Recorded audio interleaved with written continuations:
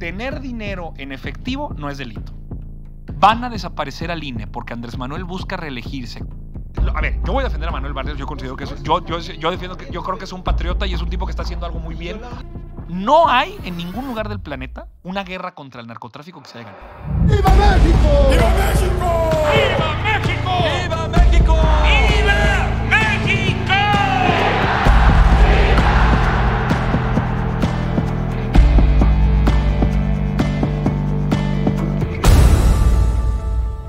Hola a todos, ¿cómo están? Bienvenidos de regreso a Makers. Eh, sobre todo, bienvenidos de regreso a esta edición especial que se llama México Última Llamada. Eh, y en especial esta primera temporada que, que, le llamamos Tierra de Dinosaurios, porque, porque esa es nuestra tierra, Coahuila. Y en Coahuila se viene un proceso electoral, como todos lo sabemos, en 2023, importante, muy importante, eh, donde de eso se trata esto, ¿no? O sea, queremos que, que la gente pierda un poquito de la apatía que, por, la, por la que estamos muchos atravesando. Me incluyo, creo que yo soy el primero que, que se incluye.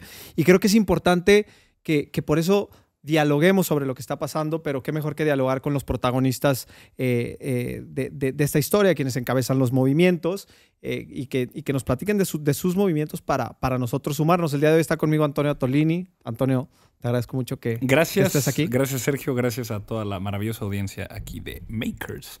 Y en efecto, estamos en Torreón, Coahuila, sucursal del Paraíso, Perla de la Laguna y mal llamadamente en la tierra de dinosaurios. Eh, porque sí, en efecto, durante 96 años, desde que este país tiene elecciones regulares, en Coahuila solamente ha gobernado un partido político. Ha gobernado más el PRI Coahuila que lo que Stalin gobernó Rusia, ¿eh? O sea, luego para que no nos anden acusando de que si Morena, comunistas, Nel. El PRI en Coahuila peor que cualquier dictadura soviética del siglo XX. Entonces, sí, en efecto, tierra de dinosaurios. Ya, ya empezó más rápido esto. No, pero es que además, te voy, a decir cuál, te voy a decir por qué lo estoy diciendo. Es que además es una gran este, ironía. Güey, hasta las placas, cabrón, dicen tierra de dinosaurios de, de, Coahuila. Me dicen, oye, ¿qué onda? Qué padre tu T-Rex. Leo, sí, sí, qué padre el Prirex que tengo ahí metido en la placa, porque en efecto es tierra de dinosaurios. No solo paleontológicamente, sino también políticamente. Oye, a ver, vamos a platicar un poquito de ti, de cómo llegas a la política, que creo que esto es prácticamente como, digo, por supuesto, hablemos de lo que sucede en el país, hablemos, sobre todo porque... Estoy listo. En, en, en, en su mayoría, y, y, y, vuelvo a decir, yo soy el primero, vivimos en un país donde la gente no, no, no, no entendemos tan bien de política. Alguna.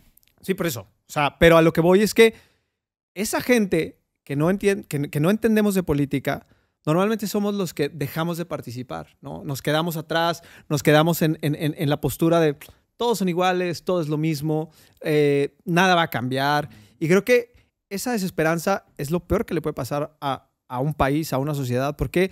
Porque creo que el mejorar, muchas veces cometemos el error de creer que está en el gobierno y creo que está en nosotros. Si la, la política, ciudadanía. si nosotros no hacemos política, nos la hacen. O sea, eh, eh, la naturaleza es saberse el vacío y la política existe desde que existen dos o más personas en este universo. ¿Por qué digo eso? Porque la política significa conflicto. Y cuando una persona quiere una cosa y la otra quiere otra, ahí hay intereses con, contrapuestos y ahí nació la política, en el conflicto. Ahora, no es necesariamente esa la única definición sobre la que la política debe entenderse, porque si hay algo que es la política, no solamente es conflicto, sino la resolución pacífica de ese conflicto. Sí, claro. Porque el conflicto también está en la guerra, y también hay política de guerra, y hay política violenta, y hay política criminal, pero pues nosotros consideramos, quienes hacemos política democrática, que todos los conflictos, los cuales nos encanta y no les rehuimos a ello,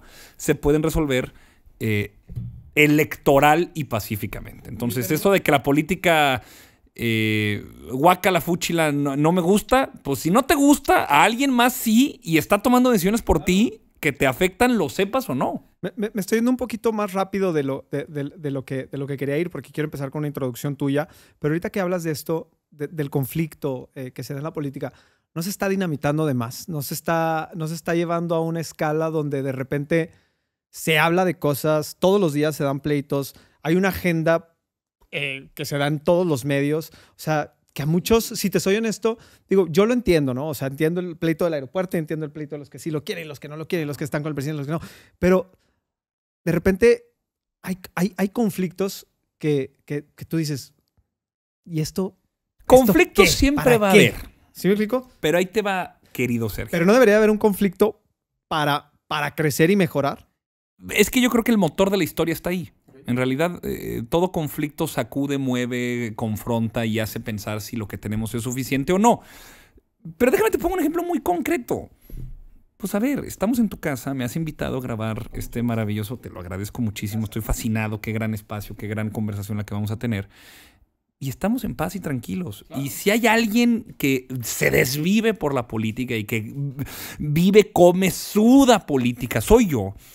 Eh, reivindico y, mantengo la idea de que la política es conflicto y lo voy a mantener siempre porque creo que es inherente a este fenómeno, pero no significa tampoco ni violencia, o sea, eh, eh, el tener una confrontación sobre ideas que igual y no son la misma, no significa voy a insultarte o a agredirte o a denigrarte o a sobajarte de la dignidad inherente que tienes como ser humano, ni tampoco estar siempre en conflicto.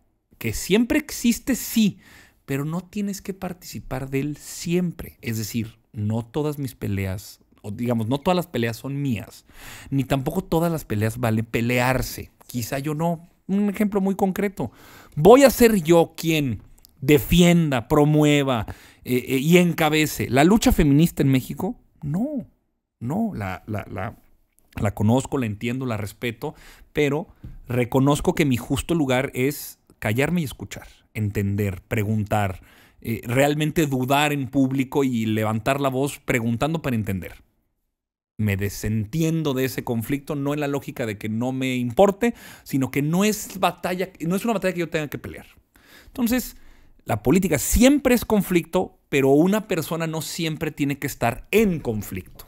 Entonces, por eso, eh, siempre, mira, déjame te cuento una anécdota, otra anécdota sobre esto. A mí me gusta mucho jugar videojuegos. Y, yo juego Warzone. Y entré a jugar Warzone precisamente como quizá todos en este país. Pues cuando empezó la pandemia, cabrón. O sea, cuando empezó la pandemia. Y fue la forma en la que yo encontré eh, un espacio después de tanta crisis eh, internacional. Yo además trabajaba en el IMSS, era parte del equipo de vinculación internacional en el IMSS. Y pues en las noches todos seguíamos trabajando a distancia, pero pues después de un bombardeo permanente de información del mundo se fue al carajo, porque en efecto lo fue. Yo platicaba con mis amigos y hablábamos y qué chingón y así estuvimos a los meses y a la, y a la postre seguimos eh, teniendo esa conversación. Y una vez un amigo, Enrique Parra, siempre cuento esta historia, entonces ya para que la gente sepa es Enrique Parra, eh, de Tijuana. Es un cuate al que yo no veo mucho porque pues vive en Tijuana, pero es el hermano de uno de mis grandes amigos como él también lo es. Eh, un día me cuenta que eh, en su día a día, él es ingeniero en software, él está en otro rollo, trabaja en una empresa este, internacional, aislado, o Sus sea, oye, güey, y Morena, qué pedo, o sea, le vale gorro, güey. Y un día, y es buenísimo en Warzone, buenérrimo, o sea, es una bala, güey. Y le dicen, oye, cabrón, que en alguna conversación salió que él jugaba Warzone conmigo. Soy amigo de hace 15 años de su hermano y pues se me- por ende, antes de que todo iniciara. Y que la gente le dijo, oye, güey, qué pedo, güey, pero a Tolini, pues, ¿de qué habla? Y el otro se quedó así como, ¿cómo que de qué habla? Sí, güey, pues ese cabrón solamente habla de política, de Morena, y que el aeropuerto, que si López Obrador. Me dice, no, güey, o sea, pues platica de cómo le fue en el día, cotorrea sobre el juego y le encanta hacer preguntas sobre pues, películas y acción, güey. Tengo mi vida normal, común, corriente, con puntos de contacto como cualquier persona a los 32 años, eh, viviendo en una ciudad como vivía en ese momento en la Ciudad de México, eh, normal. O sea, sabes quitarte, digamos, o yo sé quitarme el traje de eh, confrontación pública y dialogar de la vida, porque hay una vida fuera del personaje público. Porque aparte, un, justo eso es lo que ibas a decir. O sea, creo que un error que se puede cometer es creer que tu postura política eres tú completamente. O sea, cualquier, y no hablo de ti, sino de cualquier persona. O sea, él es, esta es su postura política, entonces te lo puedo describir. Y no es así, porque también las posturas políticas cambian. Entonces, que cuando cambia mi postura política, cambia mi personalidad entera, pues creo Me que... dirían, qué contradicción e hipocresía la tuya, Antonio. ¿Cómo entonces me estás diciendo que lo defiendes en público, no lo harías en privado? No, a ver. Yo nunca le voy a conceder un ápice de razón a un panista corrupto que defendió a Felipe Calderón. Felipe Calderón fue un presidente que encabezó un gobierno de narcotraficantes, tal cual sus cuatro hombres más importantes que encabezaron la política de seguridad, Reyes Arzates, Pequeño García, este, Cárdenas Palomino y Genaro García Luna, están todos en la cárcel o eh, fugados por vínculos con la delincuencia organizada, traficantes de cocaína y de armas. No le voy a conceder un ápice a esa gente porque yo los considero narcotraficantes. Ahora, que si alguien llega y me platica y me dice en corto, oye, yo siento que mira, Felipe Calderón fue un eh, buen gobernante, yo le diría, mira, yo tengo otra opinión porque en Torreón nosotros tuvimos una experiencia con la mal llamada guerra contra el narco que se tradujo en muerte, desolación, corrupción, abuso, impotencia, que creo que si en este espacio donde estás tomando una cheve y yo también, escuchando música en casa de algún amigo y llegaste a platicar, pues yo te lo digo, pues no como para confrontar o descartarte, sino para que tengas otra información. Sigo creyendo lo mismo, pero digamos, en público tengo una, un umbral de tolerancia mucho más tajante que al que tengo en privado. Creo lo mismo, pero, hombre, eh, si no sería insostenible, insolventable cualquier tipo de interacción si siempre estás hablando con el personaje público como si yo estuviera en la tribuna de la Cámara de Diputados. Pues no. Justo es algo que tengo aquí en, en- las notas. Este, no, no, lo dejamos para más adelante, pero justo, justo iba eso. O sea, una pregunta de, de- de- que va alrededor de hasta cuándo es sostenible, ¿sí? El, el, el, el- porque al final de cuentas, pues no sé si cargues. O sea, llega el punto donde te levantes un día y digas, ay, cabrón, otra vez, ¿sabes? O sea, ¿por qué? Porque de repente se puede volver. Porque, mira, o sea, digo, la realidad, digo, ya, ya nos saltamos este, Echa, la descripción, pero, ya viste, güey. pero, pero lo que voy es que, pues la realidad, digo, me, antes que nada, perdón, o sea, antes de, de- de continuar, te quiero, de verdad te quiero agradecer la accesibilidad, este, porque, digo, somos un proyecto que va arrancando, somos un proyecto que va, y la verdad es que tu accesibilidad, este, te la tengo que reconocer porque no, no ha sido sencillo como convocar a, a- a todos, y la verdad es que esa accesibilidad yo creo que debería existir en cualquier personaje de la política. Déjame nada más termino esto, porque, porque creo que al final de cuentas, eso debería ser un político, ¿no? Alguien que está cercano a la gente, o sea, no sentado en una cúpula donde nadie tiene acceso a ellos. Entonces, eso creo que es bien valioso, pero a lo que voy Es, es... que luego hay gente que me dice, eh, señor que le maneja las redes Antonio, ¿podría decirle? Y yo veo los mensajes y sí, digo, sí, te eh, güey, soy yo. y y te y- Este, y- y- ¿En qué te ayudo, güey? Y te topas con que de repente te dicen, este, vamos a, digo, y entiendo a la gente que está en el poder y que a lo mejor tiene muchas cosas que hacer y lo que tú quieras así, pero también de repente te tocas esta, esta, esta cadenita de, primero tiene que pasar por el secretario del secretario particular. Y, Yo llevo mis y redes. dices, oye, y las checo siempre. tranquilo, o sea, o sea, se puede o no se puede, si no, tan cuates como siempre, ¿no? Este, pero una de las cosas que, que, que a mí, que a mí me llama mucho la atención, porque en cuanto me dijiste que sí, me dijiste, órale, lo hacemos la siguiente semana, eh, la verdad es que me pasé tratando de entender muy bien este, de dónde vienes, qué haces, he estado escuchando entrevistas tuyas, veo que en muchas no te dejan hablar, veo que, pero también veo que por lo general, no sé por qué, pero en tus entrevistas o en tus debates que te ponen, vi uno con Gloria Álvarez, o sea, se eleva el, el, el- el- como el, el tono Sí, del ese debate, con Gloria Álvarez fue durísimo. se eleva el tono del debate, pero al final de cuentas creo que cuando vas viendo una tras otra, tras otra, tras otra, ha sido, digo, ha sido difícil que no te conviertas en alguien controversial, ¿no? O no, sea, pues claro. y ese es, ese es justo a lo que voy. ¿Qué tan difícil es ser un personaje controversial en un país donde todos los días, hoy, la mayoría de las personas que, que les interesa esto es el tema de la mesa? ¿No? O sea, tú vas a una comida y el tema es López Obrador, el aeropuerto, esto, lo otro, aquí, allá, eh, Calderón, Peña Nieto. O sea, entonces, ¿cómo, ¿cómo es vivir así? Y te hablo desde la parte humana, no te hablo de la parte del político. Este, sé cuándo parar. Ok. Así de fácil. Yo creo, yo tengo Pero un... ¿cómo te, des- cómo, ¿Cómo te desganchas de eso? eh, con mucho esfuerzo. A ver, a ver, a ver, a ver. Tengo 32 años. Desde los 22 años en 2012, en el 132, yo tuve un cambio de vida y un salto al estrellato público. O sea, perdí el anonimato. Es como dice un amigo. la- el ¿Eras el vocero? yo era uno de los voceros, quizá el más público, no era el vocero, era uno de los voceros del 132. Pero como dice un amigo, el anonimato es como la virginidad, carnal. La pierdes una vez y no regresa. Entonces, desde 2012, digamos, ha sido complicado, pero a ver, yo invierto mucho en mi salud mental. O sea, yo eh, voy hace ocho años a una terapia psicoanalítica, me cuido, este, mantengo esfuerzos de ejercicio, trato de comer bien, a veces me eh, desfaso, pero mantengo... Es parte de, a ver, yo, yo, yo fui, yo a los 23 años llegué por primera vez a una terapia de psicoanálisis y llegué convencido además de que la necesitaba y cuando el terapeuta me dijo, ¿por qué estás aquí? Le dije, mire, muy sencillo, tengo un problema, no sé cómo resolverlo ni tu ayuda. Ah, bienvenido, fantástico.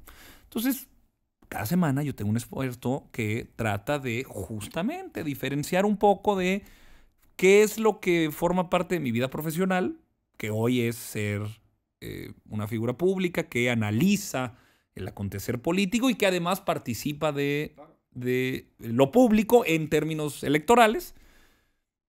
Pero ese no soy yo, digamos, es lo que hago. Pero si yo dejo de hacer eso, o antes de que yo hiciera eso, claro que existe un Antonio antes. Entonces, en los espacios más privados, familia, amigos de hace mucho tiempo, eh, sé desvincularme, sé cuándo parar, sé cuándo, eh, sé reconocer dónde son los espacios, pero además también yo ya estoy muy cómodo en la diferencia, o sea, no, no, no siento el llamado imperante, eh, obsesivo, de si veo a una persona que no cree lo que yo creo, convencerla. No es mi papel. Yo creo que lo único que sí le voy a demostrar siempre a la gente es que estoy yo muy convencido. O sea, que, que lo mío no es una hipocresía cínica, que lo mío no es un, eh, no es un papel. Verdaderamente creo lo que digo en público. Eh, tengo un, ah, eh, digamos, un programa ideológico muy claro. experiencias de vida que me han ofrecido mucho aprendizaje. Poca claridad de dónde voy a estar en 10, 15, 20 años, porque además soy un convencido de las contradicciones. O sea, dice un amigo Julio Aybar que a él le resulta fascinante conocer de una persona con contradicciones porque le permite saber dónde ha estado. Digamos, la biografía política de un hombre o una mujer se encuentra en sus contradicciones de vida. Y es, y es realmente interesantísimo saber por qué antes pensaba uno como pensaba y después no, y qué pasó. Y ahí yo creo que hay una gran conversación. Entonces, es difícil, es cansado, no te estoy diciendo que es una cosa que me haya salido natural, ni obvia, ni tampoco fácil. Hago mucho esfuerzo en invertir en mi salud mental, tengo ese inmenso privilegio, pero además soy consciente de que eh, los problemas de Twitter se acaban apagando Twitter. O sea, básicamente eh, no me lo tomo personal. Tengo muchos años de haberla pasado mal, bien, arriba, abajo, público, intenso, abajo. O sea, ya tengo. mm, Me veré más. Es importante decirlo, es importante decirlo. Tengo 32 años. La gente, yo sé que estoy más traqueteado y que parece que tengo 40, porque luego me dicen, eh, güey, pinche vato que no acabó la carrera, pinche señor de 40. Eh, carnal, esa foto tenía 23 años. O sea, este, yo sé que me veo más, más viejo, pero, pero tengo 32, entonces, este, le he invertido ya 10 años a esto. Ese anonimato podría, podrías decir, podría decirse que lo perdiste en aquella entrevista con Loret, que fue un bombazo. Quizá ese fue eh, eh, la explosión. Sí. Sí, o sea, de todo el 132, como bien tú lo acabas de demostrar, es quizá lo que inmediatamente la gente recuerda o es el gancho mediático y político que la gente ubica que yo tuve en ese proceso. Bueno, es que él yo creo arranca... que di 300 entrevistas y es esa la que se sobre todo, destaca digo, de todas. so- sobre todo creo que porque él arranca la entrevista diciendo, platicando que tú le escribiste un correo electrónico porque tenías la intención de comunicar y de tener un, ma- un mayor alcance. Fíjate que esa entrevista, además, yo, yo, yo solicité el espacio porque yo estaba viendo que había una cobertura que reconocí que no era sesgada, digamos, que era sesgada sobre lo que éramos nosotros como movimiento en su momento, pero rec- no reconocí eh, mala intención, sino justo una negligencia de nuestra parte. No habíamos salido a explicar cómo nos estábamos organizando. De ahí a que alguien supusiera ¿Cómo lo hacíamos? Pues estaba en su alcance y legítimo derecho. Dije, eh, carnal, échame, dame la mano, échame la mano. Déjame te explico cómo estamos para que tengas la información. Y la había solicitado para cuatro personas y todas las otras personas que habían sido convocadas a este espacio a las 11 de la noche me escribieron un correo diciéndome, eh, no, ¿sabes qué? Creemos que es un sabotaje, que es una trampa, no vamos a ir. Entonces, esa entrevista, yo en 8 minutos 37 segundos que dura, tuve que decir... Que para Televisión Nacional, una entrevista en Canal 2 de haber muchísimo. pedido. No, no, no, en, el primer- en Primera Noticias. Haberla pedido Loret. por correo electrónico. La pedí, me contestaron, me Sí. dijeron ven y que me la den. Y luego ¿Cuántos era para, dieron cuatro. prepararte? No, era un lunes, la di el miércoles. Y no solo la, di el la pedí el lunes, me la dieron el miércoles, sino que a las 11 de la noche del día anterior, una entrevista que yo tenía que estar en Televisa Chapultepec a las 5.40 de la mañana y yo a las 11 de la noche recibí el correo que decía, no, vas, no vamos a ir. Tuve entonces que hablar con absoluta y completa seguridad de lo que otras tres personas iban a decir. Entonces, por eso es una entrevista que de veras, si se destaca dentro de todas, es porque verdaderamente la preparé. Entonces, ahí tenía Sí, se vio dominio de 22 palabra y ahí tenía tremendo. 22 años. 22 años. O sea, yo cumplí junio, junio 11 de 2012. Ese día estábamos llevando a cabo la segunda asamblea del 132 en la Ibero. Oye, Nada más para que ¿Cómo se da el movimiento de Yo Soy 132? Porque creo que todos recordamos aquella escena en la Ibero, cuando llega Peña Nieto a dar esto, y todas las, y toda la, bueno, todos los chavos así, o sea, que la verdad, pues entusiasmaba muchísimo, ¿no? Este, y, y digo, y- y- y no sé ni siquiera, porque te digo, yo no soy ningún experto en este tema de la política y, este, no, no, no podría ni siquiera como, adentrarme mucho en el tema, pero pero no, no es que entusiasmara el hecho de que fuera en contra de Peña Nieto, porque si te en ese entonces tampoco estaba como tan cercano y no conocía muy bien de lo, de lo que se trataba. Pero siempre, en un país como el nuestro, creo que el ver que la gente se una, ¿no? Y que la gente está dispuesta a, a salir y mostrar valor, porque también pues, vivimos, o sea, con, con, el, con el pie aquí, ¿no? O sea, por, muchos, por muchas formas. O sea, no puedes agarrar la carretera a tal lugar, o no puedes este, decir Sí, los del algo norte, de los, algún político. los- los del norte lo entendemos muy bien. Exactamente, o no, o no, o no, o mejor quédate callado con esto, o sea, no, hay un empresario, este, que, que el otro, muy reconocido en México, que el otro estaba escuchando una, una entrevista de él y decía, es que el- tristemente el papel del empresario muchas veces es, y, no- y no, y no hablo de este sexenio, hablo de, de, de- de siempre, o sea, ha sido, o sea, tú haz tus cosas, pero no te, o sea, si levantas la voz, te podemos castigar. Y, y, y eso, es a lo que me refiero con tener el, el, el pie, el pie aquí, ¿no? En la inseguridad, todos salen corriendo fuera de- del país, los que tienen acceso y los que no tienen no se quedan. Pero entonces, esos pequeños momentos de ver a la gente sumarse, estar ahí afuera, sobre todo chavos, ¿no? Que a los chavos se les acusa de ser apáticos, de estar desconectados, de que los chavos de, de ahora ya son una luquera. La verdad es que entusiasmó muchísimo. ¿Cómo se da? ¿Cómo empieza? Qué bueno, ¿Cómo te acercas tú hay a eso? que siempre Hay que siempre recordar al 132 porque creo que ya a 10 años hay una generación de hombres y mujeres que formaron parte de ese movimiento que hoy están en distintas posiciones de poder y que siguen decidiendo hacer política de manera pública. Eh, creo que sí hay una generación que marca este país y que nos vamos a seguir encontrando, como lo decíamos en su momento, 30 años en el tiempo. Pero hay que recordar algo fundamental del 132. Este país, el contubernio mafioso entre la prensa corporativa y los dueños del dinero, que a su vez se sentían, por ende, dueños del país, existió tanto tiempo, a grado incluso que impusieron a un presidente como Enrique Peña Nieto. O sea, el, el- el factor de organización, de chispa, de irreverencia que fue el 132, digamos, la parte lúdica, carnavalesca, performativa, lo que vimos, el hashtag, las fotos, que las marchas, que el, que el Twitter, esto era 2002, o sea, yo tuiteaba desde una BlackBerry Pearl ahora sí que pedorrísima. Y, y era la primera vez que tenía WhatsApp y nos estamos viendo. Esto es 2012. Pero de lo que sirve para recordar el 132 tiene que ser el contubernio mafioso entre la prensa corporativa, los dueños de la imprenta, que siempre se ha dicho que no hay libertad de expresión, hay libertad del dueño de la imprenta que permite la expresión. 2012 era brutal. Entonces, muchos no lo recordarán. Pero es que era una elección además muy de hueva porque todos los poderes fácticos se organizaron y se eh, coordinaron, ahora sí que citando al manifiesto comunista, en Santa Jauría, las potencias de la vieja Europa se organizaron en Santa Jauría, bueno, las potencias de los poderes fácticos mexicanos, los empresarios, los eh, rentistas que al amparo del poder político habían hecho sus grandes fortunas, los dueños de los medios, para poner a Peña, a Peña Nieto, un tipo que venía muy cuestionado de la gubernatura del Estado de México y fundamentalmente por su actuación en Atenco. ¿Por qué es relevante? Porque esa es la chispa que generó la confrontación de los estudiantes de la Ibero contra Peña Nieto. Ve nada más cómo es el efecto dominó.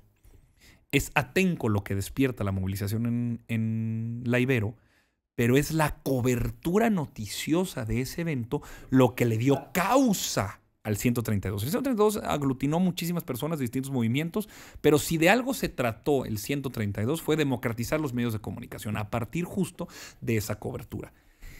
Y aunque Andrés Manuel López Obrador venía de eh, haber sobrellevado el fraude de 2006 y había planteado una nueva organización para 2012, la República Morosa, Morena era ya una asociación civil, y estaba junto con los distintos aliados de ese momento, el PT, Convergencia y el PRD, tratando de por segunda vez conseguir la presidencia, todo el aparato del Estado estaba en contra. Y recordemos nada más, yo de hecho este, me acordaba aquí por el camarada Isa, este, el camarada Gea, porque la encuesta Gea-Isa en ese momento dio cuenta de, ese, de esa confabulación. Durante toda la campaña dijeron que, que, Enrique Peña Nieto estaba a 16 o 18 puntos arriba de Andrés Manuel. Y hubo una confabulación, te digo, de estos poderes mafiosos para dar cuenta a través de los medios de que había una realidad que en los hechos no existía. Andrés Manuel terminó a cuatro puntos, seis puntos de Enrique Peña Nieto, muy, muy por debajo del margen que se había anunciado. Entonces, la erupción en mayo de 2012 del 132 rompe un poco y despierta y hace una cosa que en México nunca se había hecho, nunca de manera organizada, nunca de manera nacional, confrontar a los medios de comunicación. O sea, no se confrontó un relato o no se confrontó una verdad, no se confrontó un discurso, se confrontó a quienes hacen los discursos, los relatos y venden esas verdades. Entonces fue potentísimo, sí, sí. potentísimo, porque no era y desde dónde venía también. Y desde dónde venía, de estudiantes universitarios de escuelas privadas en un contexto electoral en donde el último gran movimiento estudiantil había sido circunscrito eh, de manera muy local, muy importante, pero muy local, que había sido la huelga de 1999 en la UNAM en contra del alza de las tarifas, del alza de las cuotas estudiantiles. Pero el 132, precisamente por las nuevas tecnologías de información, por la coyuntura electoral y por la causa que defendió, le dio una explosión no solo nacional, sino también lo ubicó generacionalmente como un parteaguas. Incluso te daría hasta un dato que me que, que justifica esta intuición. Eh, parametría, eh, parametría hasta hace 3, 4 años estaba publicando sistemáticamente una serie de tiempos sobre la confianza en los medios de comunicación en México. Y es en 2012, ya para 2013, el punto de inflexión donde la gente, ya había más personas que desconfiaban de los medios masivos de comunicación que las que confiaban. Antes de 2012 había sido siempre una confianza superior a la desconfianza. El cruce que ahora sí que el huevo que fue primero la desconfianza y luego el 132 o el 132 que generó la desconfianza, pero últimamente sí marca un espíritu de la época. ¿Por qué espacios como estos logran tener un mercado, una comunidad y activos usuarios que están permanentemente consumiendo de lo que tú generas y que amablemente me has invitado a participar, pues porque el monopolio de esa producción de contenido, porque Televisa era la gran productora de contenido de Hispanoamérica, se cae. Entonces, qué bueno que recordemos el 132. Te platico ahorita si quieres algunas anécdotas, historias, chistes y eh, carnavales de lo que hicimos. Pero hablar de eso, 10 años después, un poco en esta lógica del conflicto, de la polémica, donde el presidente López Obrador ha decidido hacer una conferencia mañanera todos los días para desde ahí contestarle a la prensa corporativa que con sus reportajes, con sus portadas, pelean por el monopolio del discurso, Por eso hoy vemos una confrontación, una polémica y un conflicto muy distinto al que en este país estamos acostumbrados. Por eso yo creo que también hay un elemento, y hay que decirlo así, tan personal en mi convicción de militar en Morena. Porque sí hay en el liderazgo de Andrés Manuel una, pues no diría una hebra, sino 800 hilos de tela egipcia, ahora sí que 800 hilos de tela tabasqueña, en donde la democratización de los medios de comunicación a partir de un nuevo discurso que hable de una realidad que generalmente había sido rezagada, para él es su bandera de batalla todos los días. De hecho, hasta incluso, debo decir, que en los estatutos de Morena se establece uno de los puntos que el 132 defendió como propios. Todo militante de Morena deberá convertirse en un medio de comunicación para combatir la desinformación y así democratizar el debate público en México. Es tomado directamente el 132. Pero a veces, pero a veces la mañanera no se transforma en una herramienta de, ¿cómo te explico? De una agenda de comunicación irrelevante. O sea, ¿a qué voy con lo, con- a, por- a- a qué me refiero con la irrelevancia? Tenemos tantos problemas en este país, porque los tenemos, o sea, y te digo, o sea, yo creo que hay, hay, hay, hay una parte de la ciudadanía que yo me considero en, esa- en- en- en- ese, en- en ese sector donde ves las cosas de las que se hablan, en, en lo, de, lo, de lo que están, pareciera, porque no estamos con ellos todo el día, pero que pareciera que la gente que está en el poder ocupa su tiempo, ¿sí? Y los problemas del país, y de repente escuchas en la mañanera ciertos temas que se tocan y que dices, ¿eso qué, güey? O sea, eso ahorita, a, a- a mí qué más me da, ¿sabes? O sea, y, o sea, ¿qué pasa con esto, no? O sea, entonces, no se queda solamente en una gran idea, pero al momento de ejecutarla es algo que termina siendo, eh, Siempre voy a preferir, si acaso concediéramos que fuera un exceso de los temas o cosas que se discuten en la mañanera, siempre voy a preferir ese exceso, aceptando sin conceder que lo sea, a no tenerlo. Mira, yo creo que Enrique Peña Nieto en sus seis años de gobierno no habrá dado más de 10 conferencias de prensa. Y no porque la conferencia de prensa sea en sí misma valiosa, sino que permitía ubicar en voz de quien era el titular del Poder Ejecutivo prioridades, problemas, alcances, certezas sobre su proyecto de nación. Andrés Manuel lo que permite, la estrategia política detrás de la conferencia mañanera, que básicamente es poner un micrófono al señor enfrente de un, atrás de un pedestal y transmitir por redes sociales, es que a las 7.05 de la mañana, cuando el presidente empieza a hablar y dice, hoy el tema es tal, todas las portadas de los periódicos, eso sí, de la prensa corporativa financiada con los múltiples millones de pesos, pesos de los empresarios que están de atrás, no para impulsar un modelo de negocio, sino para militar en una idea de país, porque los periódicos son también, digamos, eh, partidos políticos a los que nadie vota.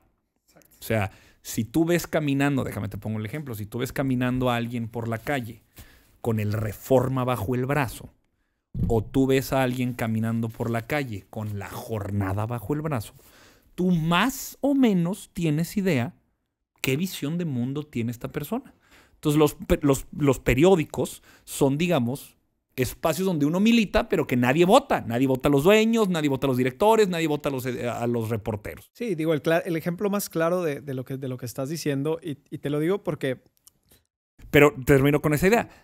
Justo lo que hace el presidente entonces es, ah, pues vénganse de 10 en 10, porque lo que ustedes quieren que sea lo importante, de lo que ustedes quieren que se hable, de lo que ustedes quieren que se discuta, pues ahí les va mi esfuerzo de comunicación para poner la agenda que yo quiero poner, solamente con una diferencia. A mí sí me votaron 31 millones de personas y a los directores de los medios no los vota ni su consejo de administración. Pero fíjate, esto es bien interesante. El único tema que quería decir es que esto es un fenómeno que no solamente se da aquí. O sea, a mí por trabajo me toca pasar tiempo en Estados Unidos y si tú prendes CNN y prendes Fox News, dices, ¿cómo puede ser Yo ya posible? sé qué visión de mundo tienes porque tienes aquí CNN y no Fox News. el que está, pero Sí, es, es un tema, Claro. es un tema donde dices, porque ni siquiera ese, o sea, porque si alcanzas a detectar que dices, no puede ser que en un país haya dos realidades tan distintas. O sea, no puede ser. O sea, o sea, o sea, no puede, ¿sabes? O sea, Ahí, justo, es, yo creo que ahí sí diste el clavo. Sí creo que ahí debo de ser eh, muy puntual en esto. Creo que sí hay un problema en esa polarización. O sea, sí debe haber un piso mínimo de decencia sobre el cual podamos todos como ciudadanos reconocer cierto punto de contacto que nos hace igual a otros, por más diferencias que algo mínimo debe haber. Yo siempre reivindico que es la idea de la decencia.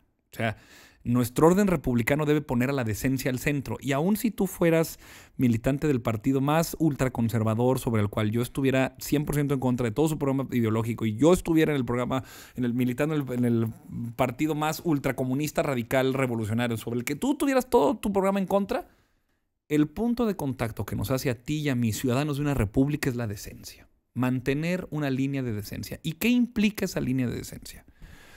Algo que en este país no sucede, pero no por Morena o los simpatizantes del presidente Andrés Manuel López Obrador, sino por la oposición. La autocrítica que tanto nos piden. eh, ¿Cómo es posible que Andrés Manuel eh, tú creas que todo está bien y nunca te atreves a criticar ni lo más mínimo? Tú dices entonces que todo está... Espérame. Tengamos una base mínima de decencia y reconozcamos, por ejemplo, que los terribles rezagos de una guerra contra el narco, violencia, secuestros, asesinatos, eh, violaciones, tortura, implica que tú y yo, más allá de que tú votes por el A y yo vote por el B, debemos reconocer que ese problema no se resuelve eh, haciendo histrioni- hi- histrionismo, gritos, politiquería, poniendo a las víctimas por delante, tratando de sacar este, votos. Espérame, tengamos un pacto de civilidad. Hoy, en términos ya muy concretos, ni el PAN ni el PRI nunca nos han pedido perdón por el abandono de sesenta y tantos mineros en pasta de conchos. No nos han pedido perdón por la matanza de Allende de 2011. No nos han pedido perdón por endeudar el Estado con unos intereses que son impagables a casi 40 años y que durante 10 años no hemos pagado un solo peso capital y que tenemos comprometido el Estado de Coahuila por la deuda de Moreira. Por poner tres temas de Coahuila nada más. Oye, esa situación nos compromete. Tengamos la decencia. Yo sé que Andrés Manuel es Andrés Manuel y aunque yo milito en Morena, yo no soy Andrés Manuel. Y si tú militas en el PAN, serás panista, pero no eres Felipe Calderón, digamos, en términos de nuestra generación. Tengamos la decencia. Eh, Estados Unidos es una sociedad rota, es una sociedad completamente polarizada en la lógica de que verdaderamente se discuten eh, dos realidades tan distintas que no hay el más mínimo punto de contacto que pueda hacer que una persona de California y una persona de Florida puedan hablar de algo que les sea común. Exacto, porque aparte, eh, digo, porque aparte en Estados Unidos, o sea, se se ve claramente, este, o sea, es- esa- esas dos realidades que te habla de Fox News y CNN, se ve en, en, en, en, los periodos electorales, o sea, están a la mitad, ¿no? O sea, digo, tienen esta parte de, de- de que son dos partidos, pero, pero digo, o sea, hace ratito estaba escuchando cómo en ciertos distritos de Georgia, este, Biden ganó por 11 mil votos en ciertos lugares que dices tú, es que está, o sea, completamente cerrado, porque aparte son dos visiones completamente distintas. Pero bueno, ese es otro tema. Pero a lo que voy yo México es que en México, falta, pero en México yo creo falta que esa decencia. pero yo creo que en México, o sea, por ejemplo, o sea, ahí te va. Yo veo que, mira, por ejemplo, yo, a mí me gusta ser claro, digo, con la gente que ha estado aquí, este, este programa lo estamos haciendo precisamente porque si alguien se siente perdido en este mundo de la política, soy yo. Sí, ¿Sí? esto lo hago para mí. No, no, no. Es que, si a alguien es que- más le sirve, chingón. es que debe de haber mucha gente Claro. que está en la misma, en la misma sintonía que yo. ¿Por qué? Porque independientemente de que yo creo que ahorita no estamos bien, porque eso es lo que yo creo, esa es mi verdad, es lo que yo creo, ¿sí? También soy de los que alcanza a decir, pero tampoco estábamos bien antes. Porque a mí una de las cosas que me sorprende es que haya gente, ¿sí? Y digo, se le respeta y me gustaría sentarme y que me explicaran por qué, pero una de las cosas que me sorprende muchísimo es cuando se dice, es que estábamos mejor antes. Espérame, espérame. O sea, no, no, no, no. O sea, no te gusta cómo estamos ahorita, pero tampoco te conformes con lo otro, porque no estábamos bien, ¿sabes? Entonces, al final de cuentas, si tú estás en Morena, si estás en el PAN, si estás en el PRI, si estás en donde estés, tú, la primera bandera en la que estás enredado es en, el- en la mexicana, ¿sí?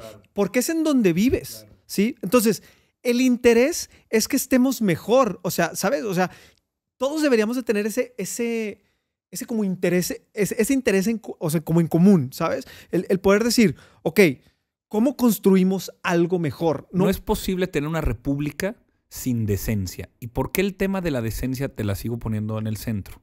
Porque solamente una persona decente va a ser capaz de poder sentir que si esta persona nació en Badiraguato, Sinaloa, o en Bochil, Chiapas, o en Chignahuapan, Puebla, o en Tecpan de Galeana, Guerrero, o en Torreón, Coahuila, indistinto de el código postal que uno tenga, el apellido que cargue o el material de la cuna en lo que en que se crió, que son tres condiciones que uno no elige.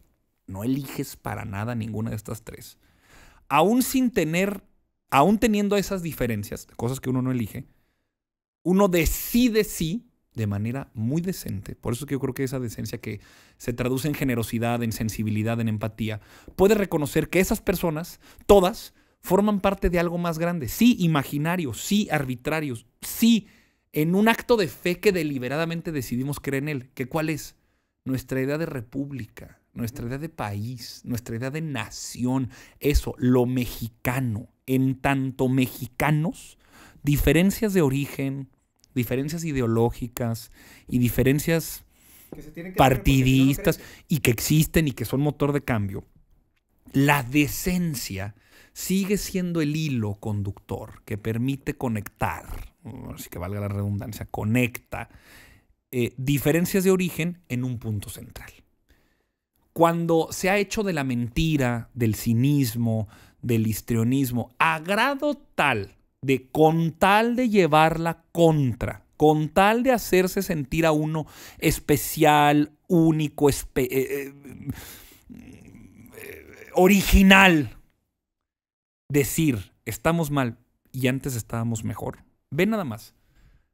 Quien se busca separar y decir, no, no, no, no, no. O sea, esta gente que cree que estamos bien, o tú que crees que estamos mal, pero que tampoco concedes que antes estábamos mejor. No, no, no, no. O sea, la idea de buscar separarse y hacerse el único especial, dijera este, Silvio Rodríguez en su canción El Necio, los únicos e impares pues son indecentes en la medida en la que no hay generosidad y no hay un punto de contacto que les hagas poder hablar con alguien, con alguien más, porque se quieren separar tanto en su, en su originalidad, de yo veo algo que nadie más ve. Ahora sí que como Peña Nieto, yo sentí un temblor que nadie más sintió.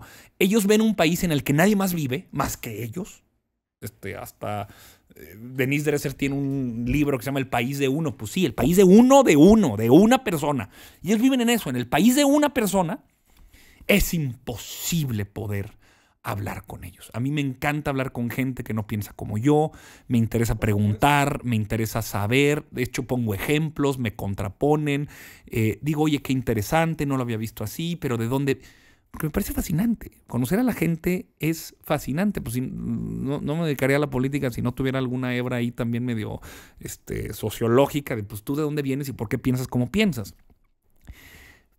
pero no es que sea, digamos, no es la mayoría de la gente. La mayoría en este país está haciendo, como tú bien dices, cosas mucho más importantes que estar pendiente de lo que pasa en el gobierno y en los partidos, porque la vida está muy cabrona, la gente tiene que estudiar, la gente tiene que trabajar, la gente tiene que cuidar a los adultos mayores, la gente tiene que cuidarse a sí misma de las vicisitudes de la vida, si eres mujer todavía más. La vida está muy cabrona en sí quien además tiene la capacidad de poner atención un poco más allá de sus narices y sacar la cabeza ahora sí que del hoyo y decir, a ver, ¿dónde estoy? Tampoco está viendo un país eh, incendiado, destruido, eh, que esté yéndose a la deriva como te lo pintan los medios. 60, 65% de manera sólida y, y constante piensa que este país eh, está bien manejado por Andrés Manuel y por lo que se está haciendo. Quizá algunos temas desagregados en lo específico, economía, seguridad, salud, suben y bajan. La pandemia es muy difícil, la seguridad ha sido bastante complicada también en partes. Yo creo que sí y no. O sea, eh, el criterio aristocrático, perdón que te lo diga así, pero el criterio aristocrático sobre el que uno juzga a una persona en lo que en su más inmediata realidad siente y piensa, no debería aplicar. ¿Quiénes somos nosotros para decirle a alguien eh, qué opinar sobre la vida que le sucede a ellos? Totalmente. ¿No? pero- Eh, esa situación deja un 30-35% de gente que oscila más o menos y dice, no, pues no estoy de acuerdo, no sé, no contesto. Y luego dentro de esa oposición, sí hay un sector como de la mitad o de un tercio, verdaderamente, rabiosamente enojada. O sea, militante en un odio y en un rencor y en una desesperación de no poder entender por qué ya no son ellos y sus escalas de valores y sus prioridades y sus símbolos y ritos la prioridad de discusión pública. Yo se lo decía a una tía, vengo ahorita de Ciudad Juárez de ver a una tía y ella no milita con Andrés Manuel, López no le ¿qué gusta. el rabioso desquiciado, yo digo que son unos 15 millones de personas, 15% de la población. O sea, hay un 35% de gente que no está de acuerdo con lo que está sucediendo en este país. Eh, te podría incluir a ti, pero que no está militando en el odio, rencor, ni en la desesperación de sentir que este país está yendo al cara. Dice, oye, no, pues mira, yo siento que hay cosas que no estoy de acuerdo y este, ya llegará el momento de votar una opción distinta para ver si podemos lograr ser mayoría. Tranquilo y normal. Yo le decía a mi tía Rocío, un saludo a mi tía Rocío, el que mira, hablando un poco de los excesos. Le dije, si nosotros tenemos un exceso, nosotros los obradoristas, porque yo me asumo parte de un movimiento que así se llama y así se identifica, si aceptamos que tenemos un exceso, aceptemos sin conceder que tenemos un exceso, es un exceso de querer mucho al Señor. Lo queremos mucho, lo admiramos mucho, eh, seguimos su ejemplo y estamos muy emocionados de poder vivir en un tiempo en el que Él es presidente. Ese es nuestro exceso, eso es a lo que nos, nos- lo que nos critican. El exceso de los contras, de los opositores más reacios, sí es el odio, sí es el rencor, sí son estas expresiones racistas, homófobas, clasistas de pinche naco venido a más de Macuspana con sucios zapatos y con el pantalón roído, que no sabe inglés, pinche vato. com- O sea, su exceso, si asumimos incluso, aceptemos sin conceder, que su exceso, así como nosotros aceptamos sin conceder, podemos tener uno, Que haya tanta gente en ese, en ese extremo del enojo. hay un. ah, sí la hay y basta con simplemente abrir los periódicos de este país, porque además es gente que tiene vasta cantidad de espacios para en su página de Twitter verificada, en su canal de YouTube con un millón de suscriptores, en su columna de en su columna del periódico, en su programa de radio y en la entrevista en la noche en la televisión, tienen toda la posibilidad de salir a decir López Obrador nos censura en esta dictadura bolivariana de Cuba-Venezuela. O sea, sí hay una proyección mediática, basta con abrir cualquier periódico de este país, las editoriales, el ejemplo que te pongo ahorita es la reforma electoral, no se ha hablado de un chingado punto de la reforma electoral. Y hay 30 columnistas de lunes a hoy, martes, en dos días, que han hablado de cómo Andrés Manuel quiere desaparecer, incluso un editorialista utilizó la palabra destazar al INE, cuando en la reforma se dice, el INE se transforma en el Instituto Nacional Electoral y de consultas, consultas que están en un artículo constitucional, en el 35, en su párrafo tercero, que establece la posibilidad de hacer consultas. Es un derecho que la derecha, la izquierda, Morena, PAN va a poder hacer. Le mantiene la autonomía, sus principios de objetivo, imparcialidad, independencia y certeza, y nada más adapta en cómo poder hacer uso de un nuevo procedimiento constitucional. Ah, no. En este país hay gente que cree y se va a marchar para cuando la gente vea este programa, les recuerdo, el 13 de noviembre, en el domingo, se va a marchar con el eslogan de el INE no se toca porque juran y perjuran que Andrés Manuel López Obrador está convirtiendo este país en una dictadura porque quiere desaparecer al INE, a grado tal de que están desesperadamente convocando con esa mentira, porque lo es, a que la gente con el miedo, con el coraje, con el rencor, salgan a marchar. Nosotros cuando marchamos lo hacemos a través de otros mecanismos y con otras causas. Si quieres en exceso, sí, nos encanta, lo apoyamos, vamos el primero de diciembre a gritar a la plaza, viva López Obrador, es un honor estar con Obrador, está bien. Fanáticos desquiciados, pero porque lo queremos mucho. Pero es que cuando, o sea, cuando, o sea, cuando tú hablas de esto, es imposible que alguien no te pueda decir, oye, ¿y el caos que fue reforma? En 2006 es bien importante O sea, y qué padre que lo ¿sabes? O mencionas. sea, es- Sí. Fíjate que hay un... Y, te, y te lo juro, o sea, no, no, bueno no, no es un afán de, de atacar ni de, ni entrar en este conflicto. encanta. Porque no se trata Si de eso eso. fue lo que Se evocó- trata de sentémonos, Padrísimo. ¿sabes? O sea, Si eso evocó lo que te dije, es- qué bueno, porque seguramente alguien también lo pensó. yo creo que mucha gente. Yo creo que mucha gente lo pensó. gente. Fíjate, yo tenía 16 años. O sea, también un poco eh, Entiendo en que tú no estabas, o sea, entiendo perfecto, y pero me hubiera encantado, eh, fíjate, pero yo tenía 16 años. Nada más, eh, a la postre de los años, cómo hemos venido eh, revisando ese fenómeno.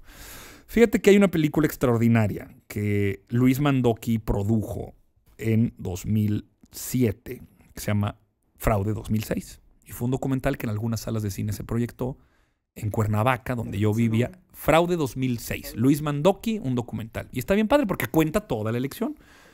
Seguramente con información que no vieron en algún otro lado porque la prensa tenía una visión, Luis Mandoki hizo otra con otra información, con su visión. Entonces yo creo que si a alguien le interesa verlo, le va a resultar muy, muy padre porque va a haber cosas que nunca vio o que no había visto. Nada más con eso está chido. Es como este, el behind the scenes de eh, la elección de 2006.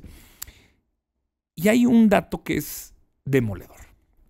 Consulta, consulta Mitofsky en los meses, en las semanas y meses posteriores de la elección, hizo una encuesta en la Ciudad de México para saber una cosa que metodológicamente en estos eh, ejercicios demoscópicos, en estas encuestas, hoy ya se llama humor social. O sea, cierta forma de entenderse a sí mismo y entender al mundo más allá de si me gusta un partido, si me gusta un candidato, o sea, cosas como usted se siente satisfecho con su vida, cree que hay más oportunidades cuando usted, eh, que, usted tiene más oportunidades que las que tiene su papá o su mamá cuando usted tenía su edad, ciertas cosas como de, ¿cuál es tu rol en el mundo?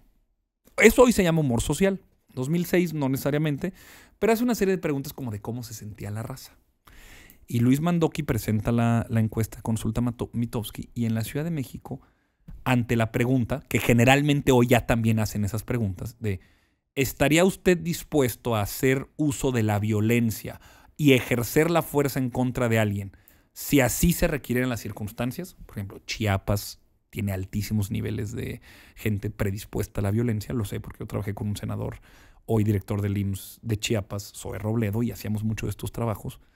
Pero en ese momento en la Ciudad de México había 9%, no sé si era 9 o 13, voy a decir el de abajo, pero era uno de esos, que declaraba decir, estoy listo, estoy listo para que me convoquen de lo encabronado que estoy ante la frustración. Yo digo que fue un fraude, pero alguien dirá, "Pues, es la ley un voto más por encima de otro, un voto más es lo que hace la democracia funcionar. Está bien, no discutamos eso. Lo que sí era un hecho es que, aún siendo un fraude o una elección muy, muy cercana, la gente estaba que se la llevaba la chingada, pero de la chingada.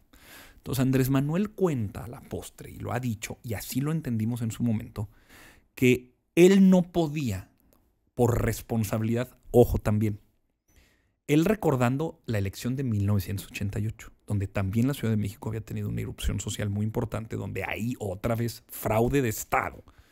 Cárdenas pierde la elección cuando esta infame caída del sistema de horas en la madrugada, donde va ganando y de repente regresa y ya ahora va perdiendo.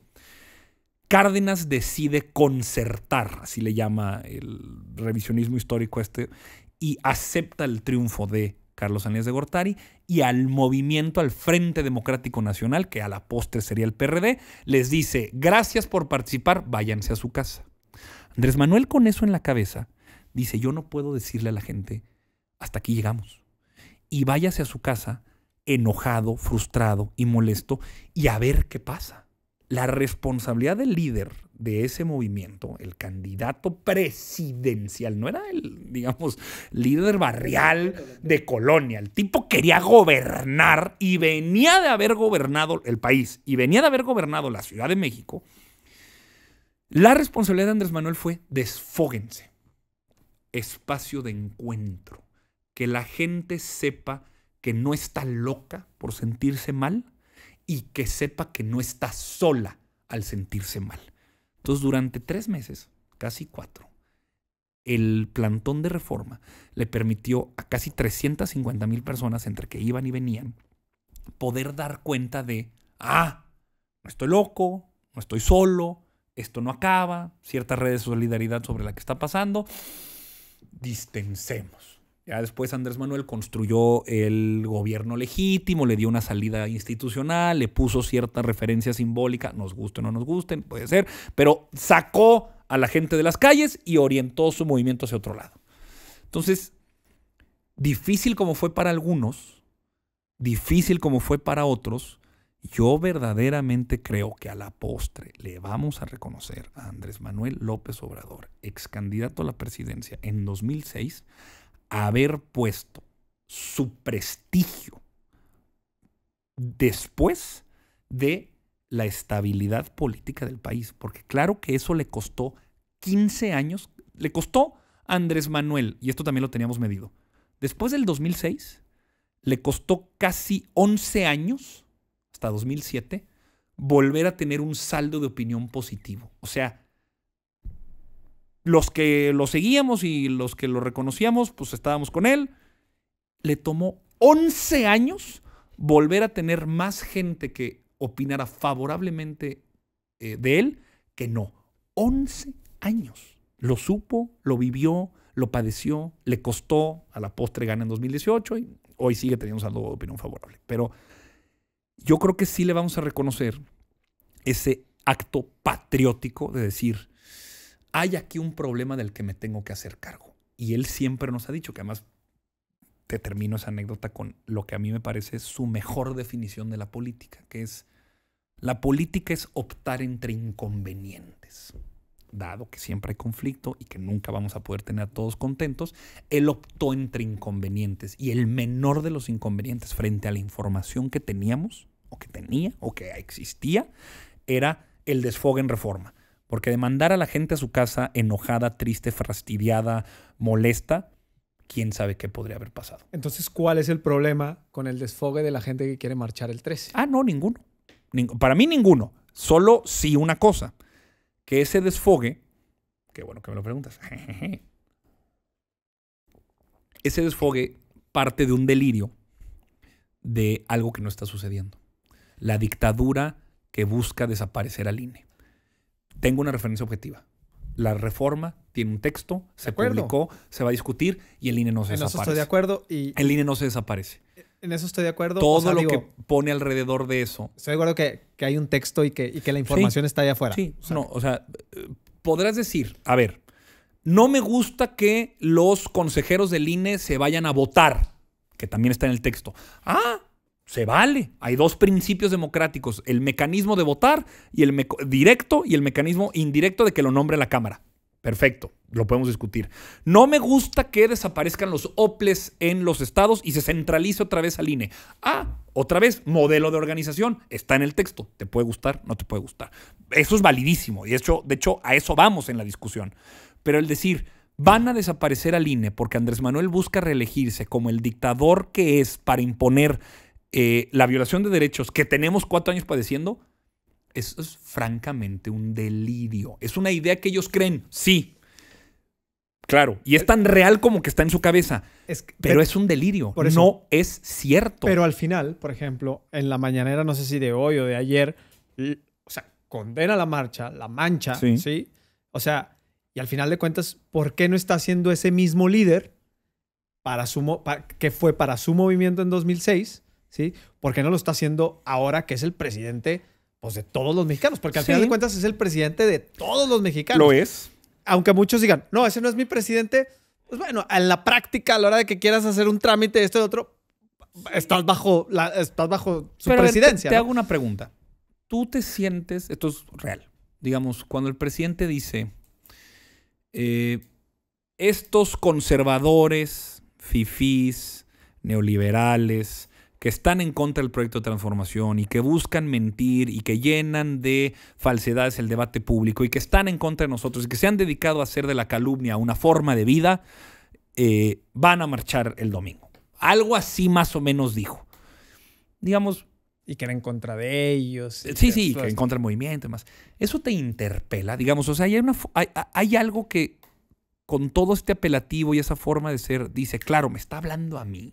No, No, no, porque mira, yo... Y le habla a algunos pocos. Por eso te digo que, que- Mira- por eso tú estás en, digamos, en la parte decente de la Mira, oposición. y de- y- de, puedo platicar. Y déjame te digo algo, yo, yo, yo, yo realmente no estoy enojado, yo sí te soy honesto, yo no, en 2018, yo no quería votar por Andrés Manuel López Obrador, yo no voté por Andrés Manuel López Obrador, pero también yo me sentía sumamente decepcionado porque es muy triste, y aparte es un fenómeno que se da ahora en todo el mundo, pero es muy triste vivir en un lugar donde no haya un movimiento, porque por ejemplo, esto yo te lo envidio a ti, qué padre que tú eres parte de un movimiento que te entusiasma. ¿Sabes? Porque del otro lado, pues yo veía a los dos candidatos, digo, que, que- que resonaban, ¿no? Que, que eran Midi y Anaya.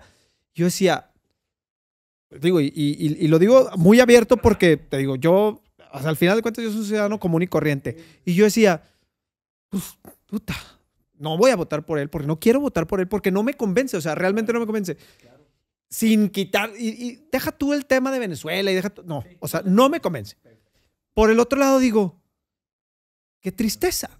Y cuando tú prendes las campañas para tratar de darle seguimiento, qué triste es, o sea, y- y- y no es un tema de México, qué triste es que vivamos en procesos electorales donde la misión del candidato es convencerme porque es menos peor que el otro. ¿Sí?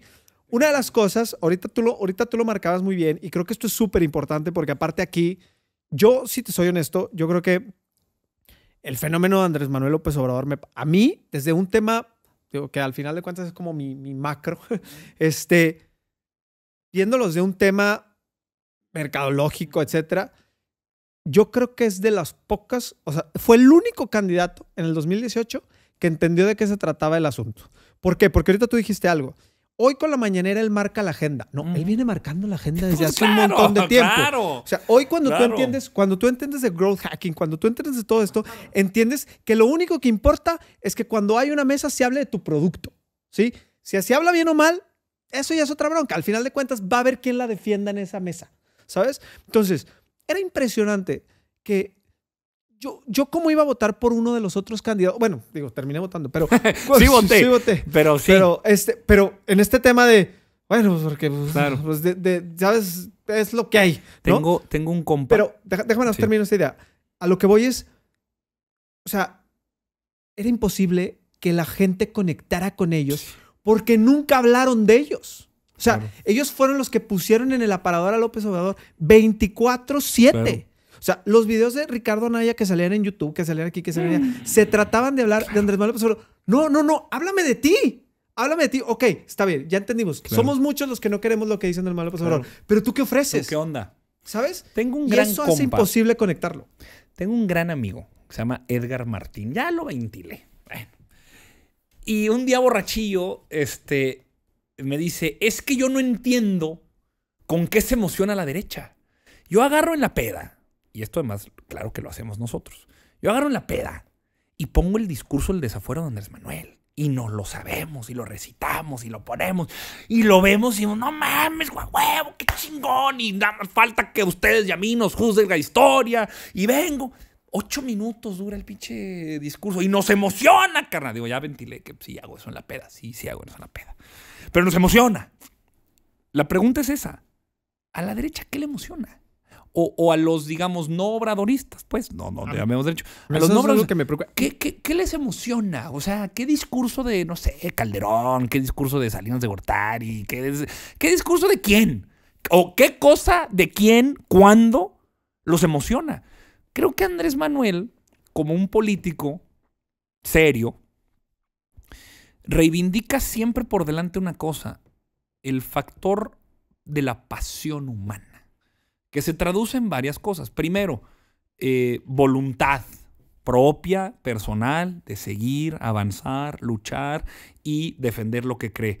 Y después, voluntad como el dirigente político que es, cuyo ejemplo arrastra a hombres y a mujeres que lo siguen en eso que nos dice que es la posibilidad de un cambio de país.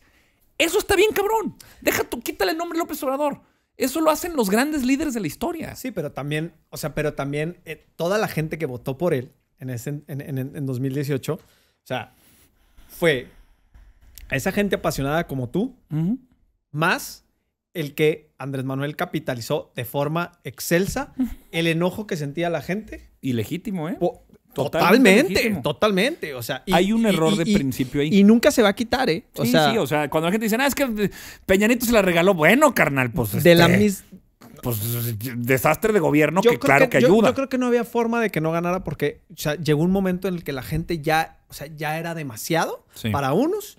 Y bueno, y la base de seguidores que tiene, que de verdad es un, es un movimiento que cuando tú lo analizas, te digo, desde sacándote el corazón y tratando, o sea, cuan- cuando, lo tienes que analizar como si lo tuvieras Sí. que analizar como un producto, es, imp- es Yo- impresionante. Te lo an- analicémoslo como un producto para que veas incluso también un Hay poco marcas de- que no logran hacer eso. Claro, O sea, claro. Y ve- ve- hablemos de marca. Pensémoslo como marca. Marca López Obrador. Para que veamos, además tenemos el experimento perfecto porque tenemos eh, tres experimentos, digamos una serie de tres, 2006, 2012, 2018. 2006 Andrés Manuel saca casi 16 millones de votos. López Obrador en el PRD. En el 2012 saca casi 18 millones de votos. O sea, más o menos lo mismo, tomando en cuenta que pues, en seis años la lista nominal creció y demás. Y luego, en 2018, saca 31 millones de votos. ¿De dónde chingados salieron 14 millones de votos más? Bueno, pues de gente que antes había votado por el PRI y que antes había votado por el PAN y que en efecto algo hizo Andrés Manuel. Y digo, sí sé qué hizo. ¿Qué hizo Andrés Manuel? En 2006, en 2012 y culminando en 2018, logró convencer al país de que el principal problema de México era la corrupción. Entonces, corrupción 2006, corrupción 2012, corrupción 2018. Claro, en el cúmulo de eventos que en el agregado derivan en que en 2018 la gente votara por el fervoroso amor que le tienen al gran líder o por el hecho de que le dijeron o pensaron, ah, cabrón, sí es cierto, porque con la Casa Blanca, porque con Ayotzinapa, porque con Odebrecht, que porque la corrupción que se fue haciendo cada vez más pública y más pública y más lacerante y más notoria, terminaron por darle la razón. Andrés Manuel como político, cuya voluntad personal de mantenerse defendiéndolo en lo que él creía y voluntad como dirigente de ser eh, alguien cuyo ejemplo arrastra a las masas, pero también como un tipo que supo de su oficio de cómo convierto de esto, que es un problema que yo considero que es muy importante, que es la corrupción, en un problema público. Déjame te digo cuando yo descubrí la política. Yo entendí la política cuando estaba en tercero de primaria. Cuando yo estaba en el colegio americano. Además, en el colegio americano aquí de Torreón Jardín. Y cuando estábamos en tercero de primaria, en el colegio americano de Torreón Jardín, me tocó la época en la que estaban los hielocos. No se va a acordar nadie más que los que tenemos esta edad. Pero estaban los hielocos. Entonces, jugabas con los hielocos. Y eso me encantaba. Esto es 1998. O sea, calen el planeta en el que vivíamos en 1998. Y cuando yo me di cuenta que algo que a mí me atormentaba, no solamente, no hombre, no era el único al que esto lo atormentaba, dije, ah, cabrón, me siento acompañado.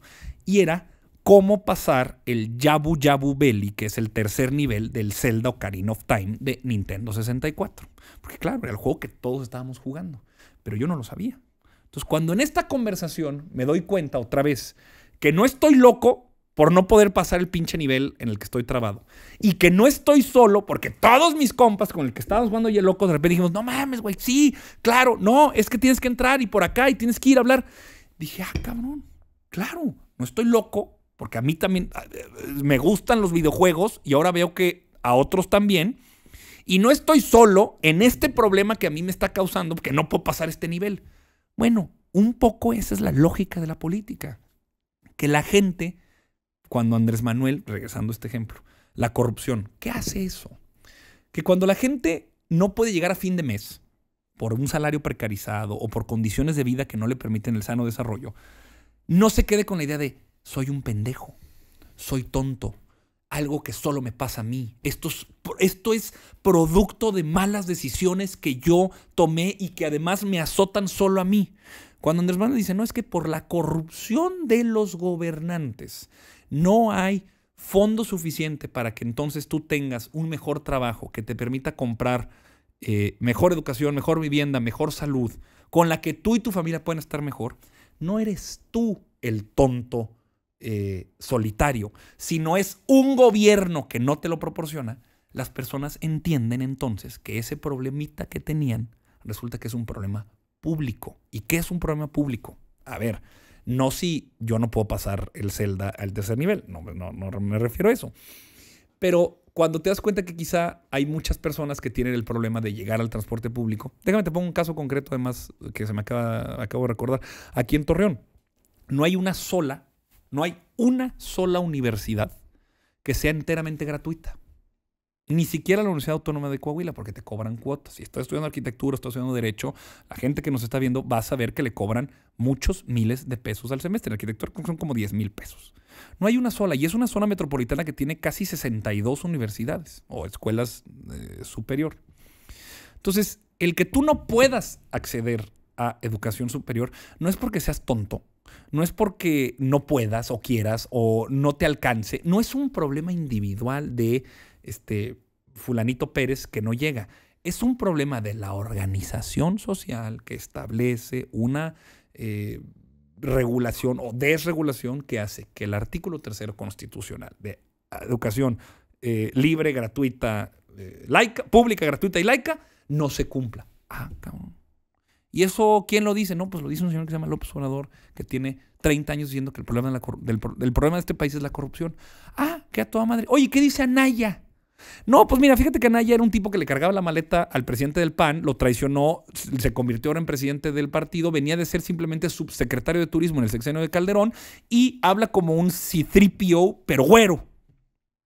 Ah, oye, ¿y qué dice Mid? No, mira, Mid es un tipo que nunca ha estado en una elección, tiene 30 años trabajando como burócrata en el Estado mexicano. Empezó de subdirector y acabó de secretario de Estado cinco veces, por cierto, de lo mismo con, Felipe Calderón y con Peña Nieto. O sea, no importa si es PRI o PAN. Y ahora te dice que todo está mal y que con él va a estar mejor. Un poco lo que decías de, pues no hay, no, hay, em, no hay relato, no hay un... Eh, buenas tardes. Y mi vida eh, como ciudadano que tiene suficientes problemas como para ahora estar pensando que los que son para ti también tienen que ser para mí. Nah, que el Obrador iba a destruir al, país, la chinga. Pues, ¿Tú crees que aquí alguien en el cerro eh, de la Cruz, en el poniente de Torreón, que tienen bastantes precariedades y necesidades en la vida, van a estar pensando que eh, Andrés Manuel va a destruir el país? Esta ciudad está lo suficientemente destruida por malos gobiernos, tanto peristas como panistas, como para pensar ahora que el lobo, la amenaza del lobo, es eh, Andrés Manuel, cuando ya nos dimos cuenta que ese que grita que ahí viene el lobo, los panistas, los peristas, la oposición, mira todo lo que se va a venir a destruir, en realidad el lobo son ellos los que no se están dando cuenta de su responsabilidad. Entonces creo que esa es la, la magia. Quítale de todo lo que te dije López Obrador. Ponle cualquier nombre, en términos de marca. Ese es el. Ese es el éxito de la política. ¿Cómo logro convencer de que esto, que para mí es relevante e importante, también lo sea para ti? Claro, si alguien viene y dice, este, quiero tener derecho a el PlayStation 5. Pues habrá quien te diga, sí, bueno, aquí el camarada Julián va a decir, sí, sí, yo quiero mi PlayStation 5, pero habrá otros que te digan, pues eso, ¿qué? Pero fíjate, en base a lo que tú dices, a mí una de las cosas que me queda... Que me, que... Diferentes dicen derecho a la educación, derecho a la salud, derecho a la vivienda, pero, ¿no? Pero en base a lo que tú dices, eh, toda, esta toda esta expectativa que, que, que, se crea cuando Andrés Manuel este, está corriendo y pues ya va a ganar, entonces bueno, pues los que no lo apoyan ya se empiezan a hacer a la idea de que, bueno, pues a ver, ojalá que sea todo lo que dice, ¿no? Inclusive, digo, hay mil programas en YouTube porque ahora hoy algo que tiene el mundo de, hoy es que nada se borra. Nada se borra, está ahí. Internet no olvida. Exactamente, todo está ahí y hay gente que dice, no, no, es que, que, hoy, que, hoy, tienen una opinión diferente en ese Lili Telles, cabrón. O sea, sí, sí, sí, sí, Pero a lo que yo voy es que, ok, se crea toda esta expectativa.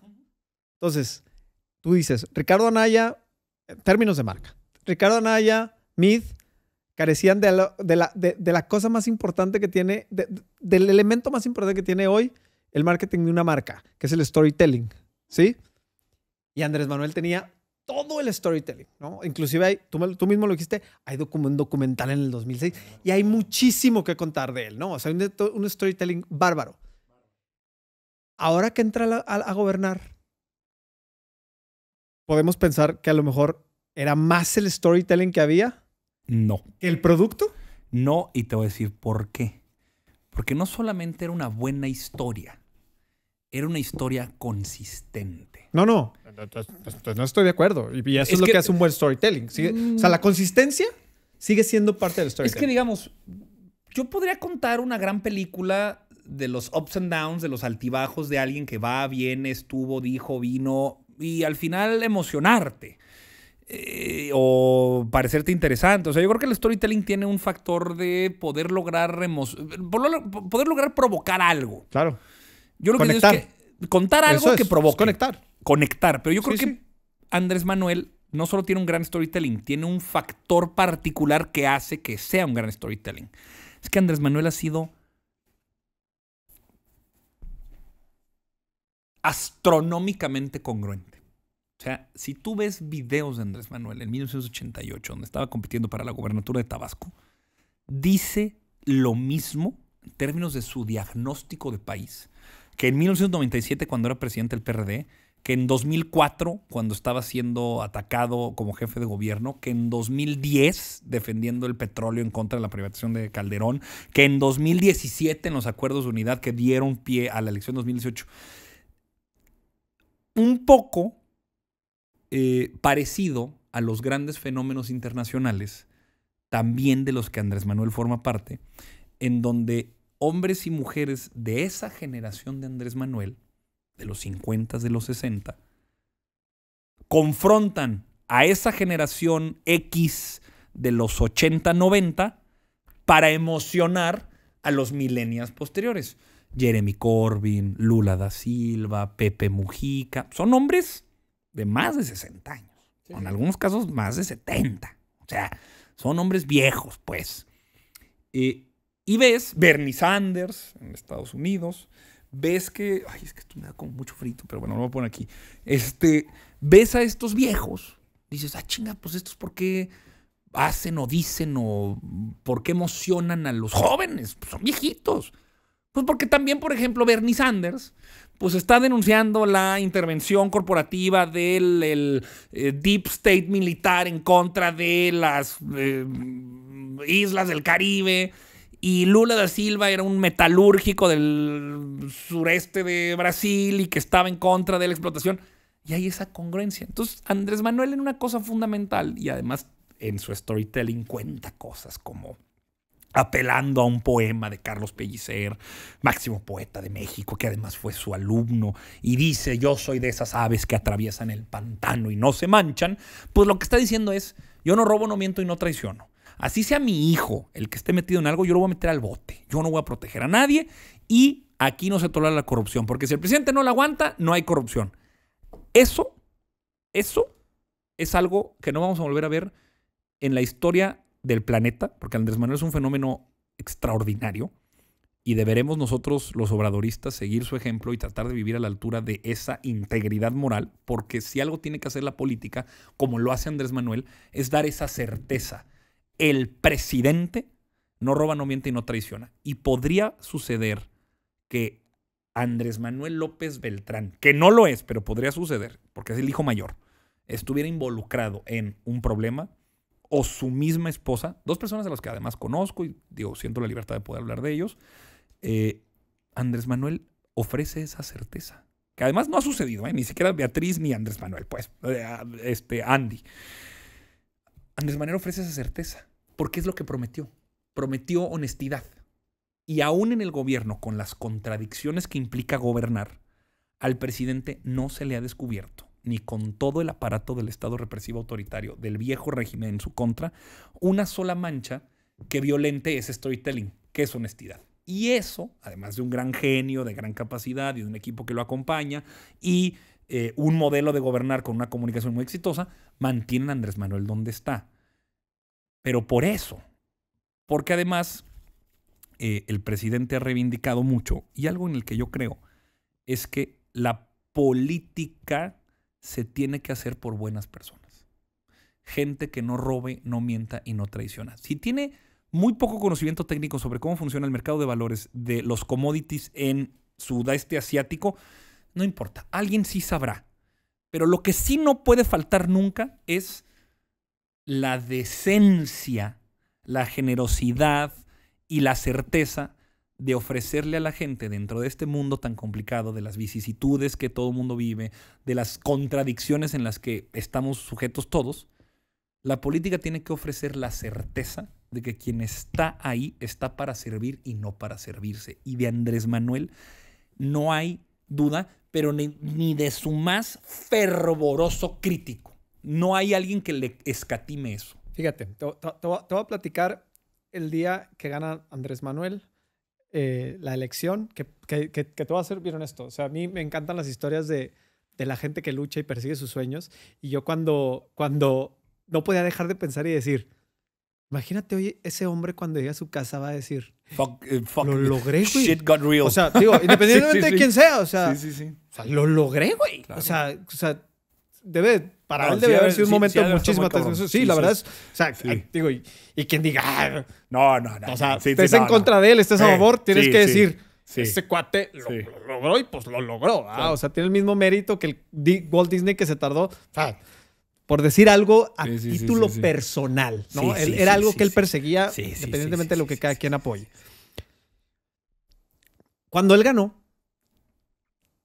yo te voy a ser bien honesto. Yo cuando vi que la gente, él sale en su carro y toda la gente en la calle y todo esto y dices, órale.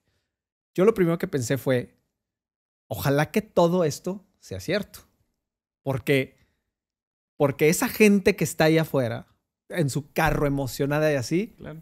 no se vale, Sí, no se vale ese no se vale, o sea, que los hayas cuenteado, cabrón. ¿Sabes? Claro. Entonces, yo dije, como en- que yo creo que así debería de ser siempre, ¿no? Todos vivimos en un país, se hace una elección, la democracia dice, ganó este porque lo eligieron más, Claro. pero en ese momento todos deberíamos decir, ahora a todos nos interesa que le vaya bien al presidente, porque si le va bien al presidente, nos va bien a todos, ¿no? Bueno, va. Ojalá que todo esto vaya a ser cierto, que no sé qué, que no sé cuánto. Empieza el de este, la verdad, te digo, yo no pongo mucha atención, pero pues escuchas una cosa, escuchas la otra, etcétera. Como el 80% de la gente. Tú en tu rollo. Entonces, cuando sale el tema de, de- que obviamente va a salir, o sea, cuando, cuando sale el tema de que el dinero que le entregaron a este cuate, que no sé qué, porque él dijo, si uno de mis hijos, yo lo voy a meter al bot. Sale el, el, el- le sale entregando dinero al hermano y luego no sé qué y no sé cuánto así. Y dices tú, qué bueno que sucedió porque aquí está el momento Mm. de la verdad, cabrón. Claro. ¿Sí? Resulta, no, es que estas son donaciones para el movimiento. Está bien, habrá gente que lo consuma, habrá gente que desde el odio diga, este güey, no sé qué es lo peor de lo peor. Pero habemos también muchos que decimos, seas mamón, güey. O sea, sí, o sea, Sí se ve feo. y luego, espérame. Y resulta, bueno, más adelante y se investiga y van a investigar y todo así. Y lo investigan y resulta que no haya nada. Está bien, ya no se le puede tocar porque la justicia dijo no, no hay nada, así como lo dijeron con los expresidentes y con, la con toda la bola que han estado metidos en problemas que por alguna razón u otra salen inocentes, ¿no? Entonces, este cuate sale inocente, es lo que dictamina la justicia, perfecto. Pero habemos muchos que no nos podemos quedar a decir, es lo mismo, güey. ¿Sabes cómo? O sea, esa fue, la, es- esa fue la narrativa y te quedas con un sentimiento de, Pongamos en perspectiva. ¿qué pasó? Me atrevo a hacerlo porque además a mí me gusta mucho la polémica, pero sí hay de faltas a faltas, asumiendo incluso que lo son. Primero, dinero en efectivo no es delito. Tener dinero en efectivo no es delito. No acreditar la procedencia lícita de ese dinero, sí lo es. O sea, Pero, si, pero si- si te das cuenta lo que suena, ¿va? O sea, claro, pero digo, al tan- final es la ley pero a y mí está me gusta bien. agarrar el toro por los Sí, cuernos. sí, sí, al final es la ley y, esa- y eso era lo que yo te decía. Tener dinero en efectivo no es delito. No acreditar la procedencia ilícita del dinero. Sí, como cuando viajas. No puedes viajar Claro. con más de 10 mil dólares. Exacto. No es que no los puedas llevar. No es que, los puedas llevar. es que tienes que decir, hola Sí, sí, carnal, sí. lo saqué de la cuenta de, de acuerdo. de la banco. Quin- 500 mil pesos. eh, no es delito tenerlos, sino no acreditar. Segundo, pongamos en perspectiva, son 500 mil pesos. O sea, cuando este movimiento del obradorista tiene 25 años y cuando alguien te dice es que los 500 mil pesos sirven para poner sillas, bocinas, tarimas y carpas, pues podrías suponer que sí, porque el movimiento obradorista de eso vivió 25 años, de poner bocinas, lonas, carpas, este, tarimas. Entonces, claro que hay gente que está decepcionada, gente que no le gusta, gente que dijo espera otra cosa. Sí, o sea, pues no lo niego, claro que sucede. Nada más que hay más personas hoy convencidas de que este proyecto va en un camino correcto que incluso el día de la elección. Seguramente ha habido un switcheo, más personas están convenciéndose de las que se fueron, pero sí hay ese esfuerzo, un poco iniciabas con esa tesis inicial, tenías ese, esa intuición al principio del programa de es que todos son iguales, nada va a cambiar. Pues también hay ese esfuerzo de mediáticamente construir el enmarcado, el storytelling sobre el que quieren pinchar eh, la burbuja sobre la que estamos todos engolosinados creyendo en un eh, charlatán como Andrés Manuel. Miren, aquí está, vamos a pinchar el globo de su altanería y vean cómo todos son iguales. Pues no, no son todos iguales, porque no eh, Andrés Manuel no tiene un secretario de Seguridad Pública en la cárcel por haber traficado cocaína y armas por el cártel de Sinaloa. Andrés Manuel no tiene un director de Pemex por haber recibido 10 millones de dólares de una constructora que desfalcó a América Latina y que puso a Pemex en reventa de chatarra. Andrés Manuel no tiene eh, un secretario de Hacienda que haya desviado recursos de tal forma que tenían casas de contratistas cuando trabajaron en el Estado de México, como si lo tenía Videgaray. A, B, C, D casos, te puedo decir, de gran corrupción. Aquí vieron un video donde Pío López Obrador recibía una bolsa con 500 mil pesos.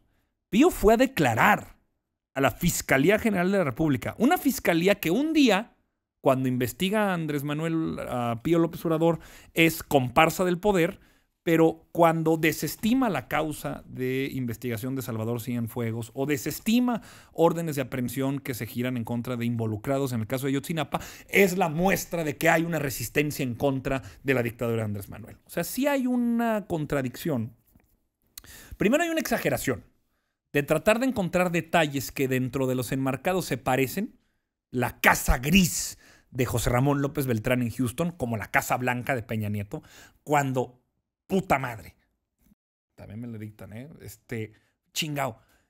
Una era, un contratista le pagó al gobernador del Estado de México una casa de 7.500 millones de pesos por favores que después se tradujeron en obra.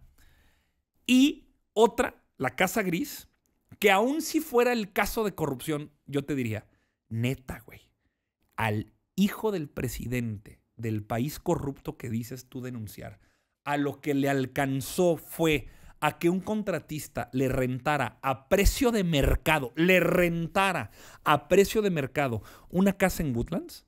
Eso es para lo que la gran corrupción de los contratos de Pemex te alcanzó, que rentar una casa a precio de mercado, 7.500 dólares, no sé cuánto era, a precio de mercado. Entonces tratan de hacer estos enmarcados, la casa gris como la casa blanca. No, no se parece. No, es que tú tienes otros datos. Pues sí, Claro, otros datos de la prensa corporativa que trae una imagen de tratar de construir algo que se parece cuando en realidad no son. Oye, no me gusta que Andrés Manuel haga T, A, B, C o D. No me gusta que se esté eh, circulando dinero en efectivo. Ah, se vale, se vale. Este, nada más es parte de una dinámica de la política, no solo de los partidos o no de los partidos, porque sí podemos recibir aportaciones eh, en efectivo, las declaramos, las presentamos, digo, aquí lo hicimos en la campaña, se declaran las aportaciones en efectivo de las personas, se presenta el reporte y se acabó. Si a mí me hubieran agarrado en un video en la campaña, campaña, por cierto, que participé aquí en Torreón, Coahuila, pero diputado federal, un día seguramente me habrían encontrado con dinero en efectivo, solamente que ese dinero en efectivo yo lo acredité en tiempo y forma frente a la autoridad electoral de qué cuenta lo saqué y para qué lo estaba usando. Pero no volvemos a lo mismo, o sea que el problema se desata por, el, por este storytelling, por esta narrativa de, de, cómo van a ser las cosas, de cómo deben de ser las cosas. Es que no es maquillaje. por ejemplo, el tema de cuando la gente sale al extranjero, o sea, eso es todo ese tema de los aspiracionistas y todo, eso es justo a lo que yo voy con cuando ves los problemas del país, dices, esa es la narrativa, o sea, es- eso es en lo que estamos enfocados. ¿Por qué? Porque, mira, te digo, a mí, yo siento que la mejor forma de vivir en el mundo es parado en la realidad, ¿no? Entonces, A ver, repite eso porque, claro. la- sí, es que es la verdad, mejor o sea, forma de vivir el mundo es o para sea, la realidad, claro. pero hay, y hay una cosa muy, y hay una cosa que es muy cierta, o sea, evidentemente al hijo del presidente de México le puede alcanzar para vivir en, en- en una casa como la que vive ella, no porque reciba dinero del gobierno, no, ojo. Pero porque está casado con una petrolera gringa de hace 15 y años. deja tú eso, Además, o sea, y, todo- por o sea, y todos, o sea, es, es ilógico, o sea, que si está bien, que si está mal, yo no soy quien para juzgarlo, pero sucede en todos lados, o sea, ser el hijo del presidente de México definitivamente te va a abrir pu- puertas en muchos lados y esa es la realidad. Pero que incluso siendo eso cierto, en el caso en cuestión no era así, porque la casa era de la esposa rica, petrolera, gringa, que trabajaba en esta empresa hace 10 años y que gana en dolarucos. Está carnal. bien, está bien, pero es, o sea, y te digo, y eso yo no lo cuestiono, y al final de cuentas, si te metes a ver cuánto cuesta la renta y la camioneta que traen, digo, o sea, no, Su vida no- privada no, es una locura. vive en co- México. No es una locura como la Casa Blanca de, de- El otro día también veía que lo sacaban en el, en el, en el partido de los Astros, y que lo que cuesta, y dices tú, a ver, güey, o sea, Ese güey no es ni, ni vive en México. pero también como oposición, funcionario. también como oposición, dices, es que ¿por qué nos concentramos en tu puras estupideces? ¿Sí me explico? Si va al juego de los astros o no, ¿en serio a alguien le queda, o sea, le queda la duda de, ¿lo va a poder pagar o no lo va a poder? ¿Sabes? Pero bueno, el caso es, no es este storytelling lo que causa todo este problema, el decir, mira, es que, o sea, ellos mismos, o sea, ellos mismos se tropiezan con lo que dicen, o sea, no Yo va le- por ahí. Yo le dije a mis amigos del PAN y del PRI al mes de que ganó Andrés Manuel. Gánenlos por la izquierda. Ah, chinga, ¿cómo? Este señor tiene una legitimidad enorme, ganada en las urnas, pero además por una historia de vida que lo hace ser un tipo al que la gente le cree y está obsesionado con su idea de legado. Solamente que tiene una cosa que todos los presidentes en este país van a tener. Tiempo limitado, recursos finitos. Andrés Manuel, si quisiera en seis años convertir a México en un país de primer mundo, no va a poder. Vean a futuro. Lo que él propone logra alcanzar sus objetivos o creen ustedes ser capaces de poder sobre eso montar una mejor idea. Nah, güey, es que nada. Dije, a ver, neta, güey. La pensión de adultos mayores es un programa muy popular, es universal, no es clientelar, está asignado y está ayudando a las personas más desfavorecidas en este país. Neta vas a salir a decir, pinches viejitos que viven de la migaja que les da el gobierno. Ah, ¿para qué lo confrontas? Es un programa popular, que además es un programa útil, es un programa relevante. Confróntalo. Construye una mejor versión del programa. Sé tú quien vea eso que existe y propone y ofrece y construye una nueva visión. Ese es el problema de la discusión pública, pero que sí proviene de su neurosis. No nos pueden ofrecer, en ningún caso, llevamos cuatro años, no nos han ofrecido, ni se han instalado en la discusión pública, ni se ha instalado en la discusión pública cuál es su visión de país. Están repitiendo el error de la campaña. Todo lo que haga Andrés Manuel está mal. Todo lo que haga Andrés Manuel es un error. Todo lo que haga Andrés Manuel es más de lo mismo. Y mientras él siga haciendo algo que la gente reconoce, que la gente valora y a que la gente le convence, él sigue avanzando con su proyecto, mientras la oposición quizá era buena idea, quizá no, pero a la postre de cuatro años, en donde no terminan por crecer electoralmente, alguien en sus, en, en sus, en sus cinco Alguien no está sentidos, entendiendo cómo alguien no está funciona el mundo. entendiendo que valdría la pena explorar otra forma de discutir. Yo en eso estoy. Les paso al costo que sea una en donde nos rebasen por la izquierda. Yo en eso estoy completamente de acuerdo, porque yo creo que, o sea, te digo, independientemente de que yo me encantaría que hubiera otra propuesta, ¿sabes? O sea, eso es lo que a mí me gustaría, Claro. pero me, gusta, me gustaría, me- pero me gustaría, me gustaría una, una, una- una mejor propuesta que fuera precisamente eso, una mejor Claro, propuesta. Claro, No solamente claro. escapemos, Claro, ¿sabes? claro. Que eso es lo que no, que eso es lo que no entusiasma, que eso es lo que no entusiasma. Y bueno, si ese es el primer paso, venga. Pero el punto es, o sea, ahorita que, que- que- que tú mencionabas este tema de, de las cosas no pueden cambiar en seis años, yo creo que eso lo sabemos. O sea, bueno, tendríamos que saberlo. O sea, quien piense que los problemas que tiene este país, ¿sí? Porque no hay que minimizarlos, los que tiene a la actualidad, independientemente si se generaron hace 50 años o ahorita, van a cambiar en seis años, estamos todos locos, ¿no? O sea, se puede empezar. Pe- perfecto. Y, y justo por allá voy.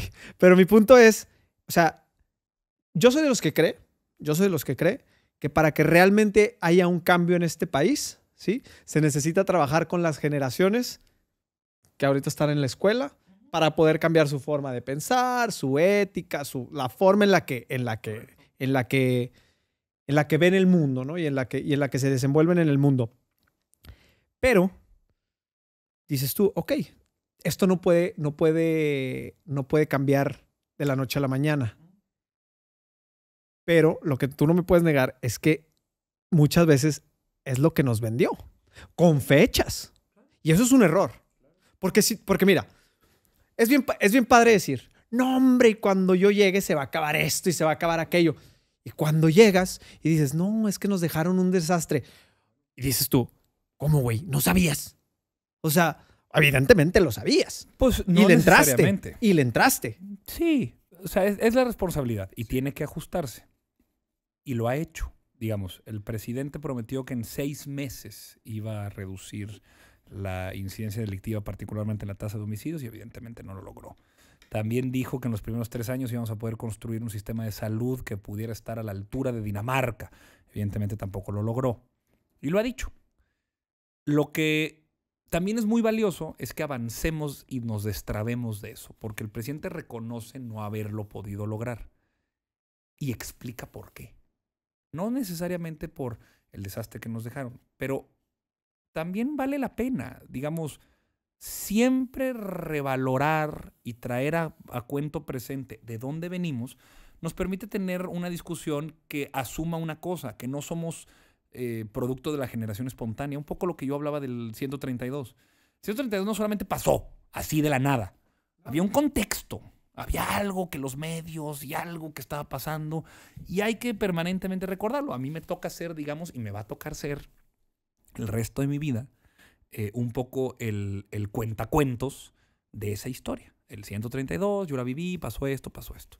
Entonces, Manuel un poco lo que hace es eso, es siempre traer a cuento de que, a ver, Sergio, tú y yo teníamos... ¿qué- ¿Tú tienes mi, mi edad? ¿32? ¿Qué tienes? 36. Bueno, mira, todavía más a mi favor.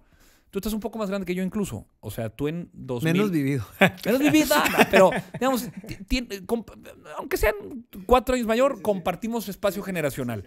Tú en 2006, pues tenías 22 años. 2005 tenías 21. Torreón era una ciudad. Y de repente, por una decisión política de un señor en el gobierno, a través de una visión de país y un ordenamiento de prioridades y una forma que él pensaba que se podía resolver, convirtió de todo el país, a Torreón en una fosa.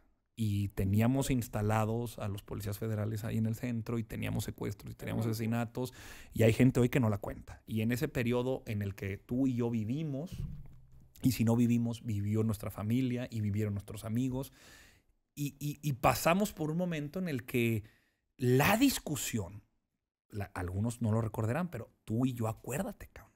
Esta polarización de la que hoy se habla, ¿de qué se hablaba con Calderón? Muertos, balas, operativos, militares, decomisados. No, y, y mira a quién atrapé, y mira esta, eh, eh, esta captura, y mira esta detención, y mira, y mira, y mira, y mira, y mira, y mira, contando los muertos. Todo el chingado día, eso es lo que ocupaba. Y vamos a ir contra los criminales y contra la droga. Y todo terminó siendo una gran farsa porque Genaro García Luna traficaba cocaína para el cártel de Sinaloa. Está en Nueva York esperando un juicio en un proceso que tiene casi 17 mil hojas de expediente sobre el que existen testigos protegidos que por criterios de oportunidad están denunciando a él y a otros tantos. Reyes Arzate, el policía de la... Y que si eso el es director cierto, de la Policía Federal. que si eso es cierto, es el, es, es- es lo peor de lo peor. Pues hay que recordarlo. O sea, es- si es, Claro. o sea, el día que hay se que juzgue y se, y se halle culpable no- lo que sea. Y no es. y no es. Claro. Y no es coyuntural. No es uno más. Era el encargado del gabinete de seguridad. Por eso lo digo, que sería lo peor de lo peor. o Entonces, sea, cuando Andrés Manuel porque hubo recuerda un mucha poco- gente que sufrió y sigue sufriendo. Y nunca va a dejar. O sea, es, es, es, es- ese, esa herida que está, ya no. O sea, les, o sea, les cambiaron la vida para siempre, para mal. hay heridas que nunca van a sanar. Pero fíjate, nada más, que, nada más quiero que me. por- ahorita, pero no quiero que te me vayas otro tema. Acabo de. Digo, No acabo de. Hace como seis meses. ter- y- el o sea, otro día. Me eché, el libro de, me eché el libro de Calderón, no sé si por morbo, que aparte, regresando a temas de marketing, lo hace muy bien porque el tema de seguridad lo deja casi al último. Entonces estás ahí leyendo. Ajá.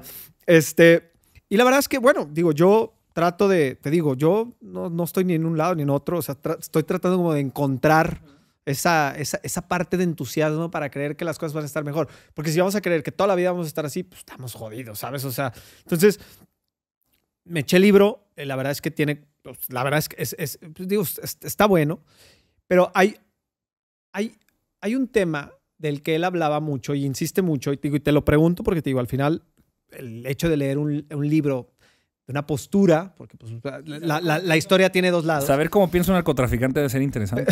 no. Este, pero a lo que voy es que eh, él hablaba de cómo, o sea, si no se le hacía frente al problema, iban a suceder cosas que hoy suceden. O sea, que se empiezan a apoderar del Estado, que empiezan con aquí, que empiezan por allá. Entonces, mi punto es, Pero es que no se le enfrentó. Deja tú. No, no, ni siquiera voy a discutir lo de hoy. o sea, eso, No es se lo, le eso, es lo, eso es enfrentó. lo único que quiero entender. O sea, Es que no se le esa- estas cosas que, que, que, que él dice desde tu punto de vista, este, ¿tienen sentido o no tienen Luis sentido? Cárdenas Palomino fue galardonado como No sé el ni quién es. Para que te des una idea de dónde, de que no sé. Luis Cárdenas Palomino fue galardonado en el sexenio de Calderón como el mejor policía de todas las corporaciones. Hay una foto, se le dio una medalla. Luis Cárdenas Palomino a la postre terminó siendo el jefe de seguridad de Grupo Salinas, a la postre de los años. Luis Cárdenas Palomino está en la cárcel por traficante de cocaína y por tráfico de armas del cártel Sinaloa. En la cárcel. Iván Reyes Arzate, el director de la Policía Federal, está en la cárcel, confeso de haber formado parte de la red del narcotráfico. Pequeño García Bueno formó parte también de, está fugado, formó parte del ecosistema de la Secretaría de Seguridad Pública en términos de inteligencia, con el que se desviaron miles y millones de dólares y está fugado. Y Genaro García Luna, que es el secretario de Seguridad Pública de Calderón, está en una cárcel en Brooklyn, Nueva York, esperando un juicio porque se le acusa precisamente de haber sido un testaferro del cártel de Sinaloa. Y de ahí se desdoblan varios casos, rápido y furioso. Una operación que en términos de derecho internacional se llama entrega controlada. O sea, yo le pongo una marca a estas pistolas y veo a dónde llegan y resulta que el gobierno mexicano terminó por intervenir en esa operación, haciendo que armas largas provenientes de Estados Unidos en una operación encubierta terminaran en las manos de la delincuencia organizada. O sea, cuando Felipe del Sagrado Corazón de Jesús, Calderón Hinojosa, dice que se le confrontó a la delincuencia organizada, está mintiendo.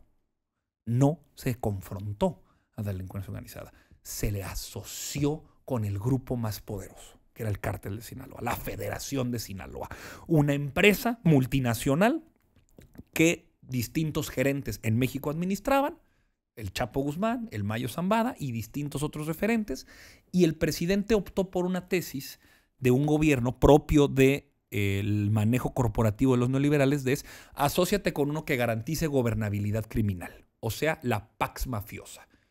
De nada dice y nada nos ofrece eh, en términos eh, reales el contubernio entre la mafia y el gobierno si la tasa de homicidios por cada 100.000 habitantes es cero. Podría ser mil, podría ser cero. Y el contubernio, digo, claro, 60 homicidios por cada 100.000 habitantes, 80, 120, son niveles de países en guerra y hablan de una de veras descomposición social, pero aún si fuera cero, es más, mucho más rentable para la delincuencia organizada no tener que estar dedicando recursos y sobre todo tiempo, dinero y gente a confrontarse violentamente en contra de otras personas, porque el contubernio mafioso pues está absoluta y completamente eh, en una simbiosis. Entonces, esta tesis, y es una causa que yo reivindico personalmente y por eso insisto, es que sí tenemos que elevar una barrera moral de indignación, de indecencia frente a quien dijo que iba a hacer una cosa y hoy la cúpula, la máxima nomenclatura encargada de la seguridad, con apego a derecho en procesos abiertos, en donde hay incluso confesos y gente en otros países vinculada directamente con que eso que decían que estaban haciendo no lo hicieron, le trabajaron al cartel de Sinaloa. Entonces esta tesis de, bueno, de lo perdido lo encontrado. Por lo menos alguien se atrevió, por lo menos tuvo la valentía. Y bueno, salieron cosas mal, pero este, qué huevos y qué audacia y qué valor y qué. No, Bueno, pero hubiera, o sea, pero, pero, pero era lo que había que hacer. no, señor. O si se hubiera hecho bien, era lo que había que hacer. ¿o no, no? señor. Incluso te lo digo yo como internacionalista No, no, sí, del ITAM, especializado en delincuencia organizada transnacional. No hay un solo país del planeta, ni Líbano, ni Siria, ni Alemania, por supuesto que no, pero ni siquiera el mismo Colombia, que le tomó 15 años reducir las tasas de homicidios por cada 100.000 habitantes, a partir de que se implementaron las medidas de la declaración política más importante que existe en el mundo para poder ordenar el combate a la delincuencia organizada. Se llama la Convención de Palermo y se firmó en el año 2000. La Convención de Palermo establece cuatro cosas. Algunas muchas mm, fáciles y sencillas, pero, o sea, combate a la corrupción, acción, acción policíaca, desmantelamiento de estructuras financieras y eficiente aplicación de la ley. Nunca dice salte a dar de balazos con la delincuencia organizada. Porque si de balas se trata, la delincuencia organizada gana. La delincuencia organizada tiene acceso a helicópteros, tiene acceso a calibre 50, tiene acceso a explosivos, tiene acceso a dinero, tiene acceso a algún efecto corruptor que les hace ser casi casi el, ejércitos paramilitares. No hay en ningún lugar del planeta una guerra contra el narcotráfico que se haya ganado. Nunca. Nada. En la historia del universo conocido. Es un modelo de negocio que le sirve para los políticos que están involucrados, para mantener dando la vuelta a la rueda y que al final quien termina por pagar esto es la gente. En ¿Cómo se le Unidos, gana? En los 60 los Kennedy, de cierta forma también, digo, O sea, digamos, esa declaración de guerra. bajo, había como una, como una, como una, bajo esa tesitura había como algo similar, ¿no? Una declaración en contra de estas grandes mafias que controlaban las ciudades y... Claro, y, y- y no se gana. No, no se gana. ¿Qué sí se empezó a hacer? Ahí sí que me disculpen. ¿Tú te acuerdas? Igual hay gente que nos ve, pero no lo, no lo va a recordar. ¿Tú te acuerdas del caso Polet? De la niña que se había. que se murió en un colchón y la chingada. Bueno, ¿te acuerdas? El procurador del Estado de México en ese momento era un señor que se llamaba Arturo Vaz Vaz. Arturo Vaz Vaz Fue la telenovela durante... fue la telenovela El gran montaje de la televisión mexicana. Arturo Vaz Vaz era el procurador de Enrique Peña Nieto cuando fue gobernador del Estado de México. Pero después fue el titular de la unidad de inteligencia financiera de Enrique Peña Nieto. La unidad de inteligencia financiera tenía en ese momento alrededor de 60, 70 personas que estaban trabajando en esa oficina y la mitad eran administrativos y los demás peritos en derecho, actuarios e investigadores de inteligencia financiera que se dedicaban realmente o se tendrían que haber estado dedicando a desmantelar estructuras financieras. Esto medido por el Fondo Monetario Internacional, pero hasta 2015 más o menos, la unidad de inteligencia financiera en México se dedicaba a capturar lo que se llaman mulas. Gente que trae más de 10 mil dólares en el aeropuerto. Ah, pues esta maleta. Ah, y que vas a Colombia, y que vas a Perú, y que vas a Estados Unidos, y Argentina, cualquier lugar del planeta, donde tú quieras y mandes en un avión. Ah, traes más dinero. No declaras la procedencia lícita. Suelo. Unidad de inteligencia financiera. Claro. Dirás, ¿y eso es mucho o es poco? Bueno, si la Federación de Sinaloa es una organización multinacional que opera en 62 países y que tiene acceso a tanto dinero como países tienen PIB, pues agarrarle una mula de 10 mil dólares realmente no sirve. Cuando llega este gobierno, el enfoque fundamental y que todo el mundo se burla y dice abrazos no balazos, a ver, carnal, abrazos no balazos es un eslogan de campaña. Si tú realmente abres la caja de abrazos no balazos, tú vas a ver fundamentalmente a Santiago Nieto congelando activos patrimoniales financieros de redes de tratantes en el sureste de México con el que se estaban terminando de financiar guerrillas paramilitares. Por los miles de millones, por decir un caso de los que me acuerdo. Por los miles de millones. O sea, actividad en contra de la inteligencia financiera de los cárteles hubo. Y Pablo Gómez dice, yo ya no quiero, porque es el que está ahora. Yo ya no, a mí no me gusta esto de los medios. Yo, yo a lo mío. Entonces está haciendo actividad financiera. Acción policíaca y eficiente control territorial, digamos, los controles de seguridad que se hace. Pues la pinche Policía Federal, resulta que el director está metido en la cárcel confeso porque trabajó en narcotráfico. Bueno, pues la Guardia Nacional es justamente eso. Una nueva corporación que lo que busca hacer es control territorial. Claro, a los chilangos les parece un abuso porque no a la militarización y qué horrible y por qué los militares van a estar en las calles. Sí, claro, carnal, pero pregúntale a la gente aquí en Candela, Coahuila, o pregúntale a la gente en Sierra Mojada, o pregúntale a la gente en Morelos, Coahuila, no Morelos, la entidad federativa, que también, porque también ahí viví. Si quieren que la policía municipal los cuide, contubernio, con el narco, mafiosos, poco entrenados, poco capacitados, o en las mejores de las intenciones, pero muy poquitos, o la Guardia Nacional, que es la que garantiza la territorialidad del Estado para garantizar derecho de vida y propiedad. Pero es que si te soy honesto, yo creo que la gente ya ni en eso confía, ¿sabes? En la Guardia Nacional no, la, Guardia, no, la Guardia Nacional sí tiene un porcentaje muy alto de confianza que está a la par de la Marina, que es la corporación del ejército mexicano que más confianza tiene, junto con después la Guardia Nacional y después el ejército. La Policía Municipal es la última, es como los diputados federales de la República. Sí, sí, sí. La Pero- Policía Municipal no le crees ni los buenos días. O sea, te dicen, hola, buenos días, tienes que salir a ver si está el sol. Si tú sales a la... Sí, no, no, queda claro, me queda claro que hay un abismo tremendo. Y si no, pregúntale aquí a no solo los municipales, sino a los No. estatales. Pregúntale a los gates y a la Me PAC. queda, me, y a- me- me queda o sea, claro, pero yo... creo A ver quién quiere salir. Hola, señor Gate. Pero yo creo que sí hay un feeling en, en, en, en gene- bueno, no en general, porque pues, me- no, no puedo generalizar, pero hay un feeling que si tú le preguntas a la gente, oye, ¿qué piensas? No, pues, esto no, o sea, inclusive la, la- la gente lo dice, es que eso no se va a acabar nunca, es que eso, está, eso es muy difícil, es que esto, es que, o sea, yo creo que vivimos en un país muy desesperanzado. Yo creo que no. ¿No lo crees? Yo creo que no. Yo creo que Andrés Manuel nos regresó a eso. Que sí se va a acabar. Va a tomar, va a tomar tiempo y vamos a necesitar mucho tiempo. Pero el hecho de poder decir que en este país la corrupción se puede acabar, porque Andrés Manuel nos ofreció un ejemplo de vida de que haya posibilidad de que alguien en el poder te dé la certeza de que no le interesa el dinero, ni la fama, ni la gloria. Lo que le interesa es el honor y el sentido de trascendencia. Y ahí sí que la que soporten y soporten, pero de Andrés Manuel, nadie le puede regatear eso. Y esa certeza que habrá de resonar en los pasillos de la historia por muchos años y muchos, muchos años, y quienes seguimos su ejemplo y habremos de llamarnos obradoristas en política, tendremos que estar a la altura, creo que ese es el gran legado que sí hasta ahorita sí logramos cambiar. Yo creo que va a ser muy difícil, no digo imposible porque en política todo es posible, pero yo creo que va a ser bien difícil que pronto, 10, 15, 20 años, y si esto sigue como sigue más, puedan regresar esos tristes e inmundos días en donde la frivolidad, la superficialidad, eh, eh, la, improvisación en la política, camionetas, exceso, casas, lujos, superficialidad de relojes, este, declaraciones denigrantes, racistas, jajaja, jijiji, eh, espacios controlados.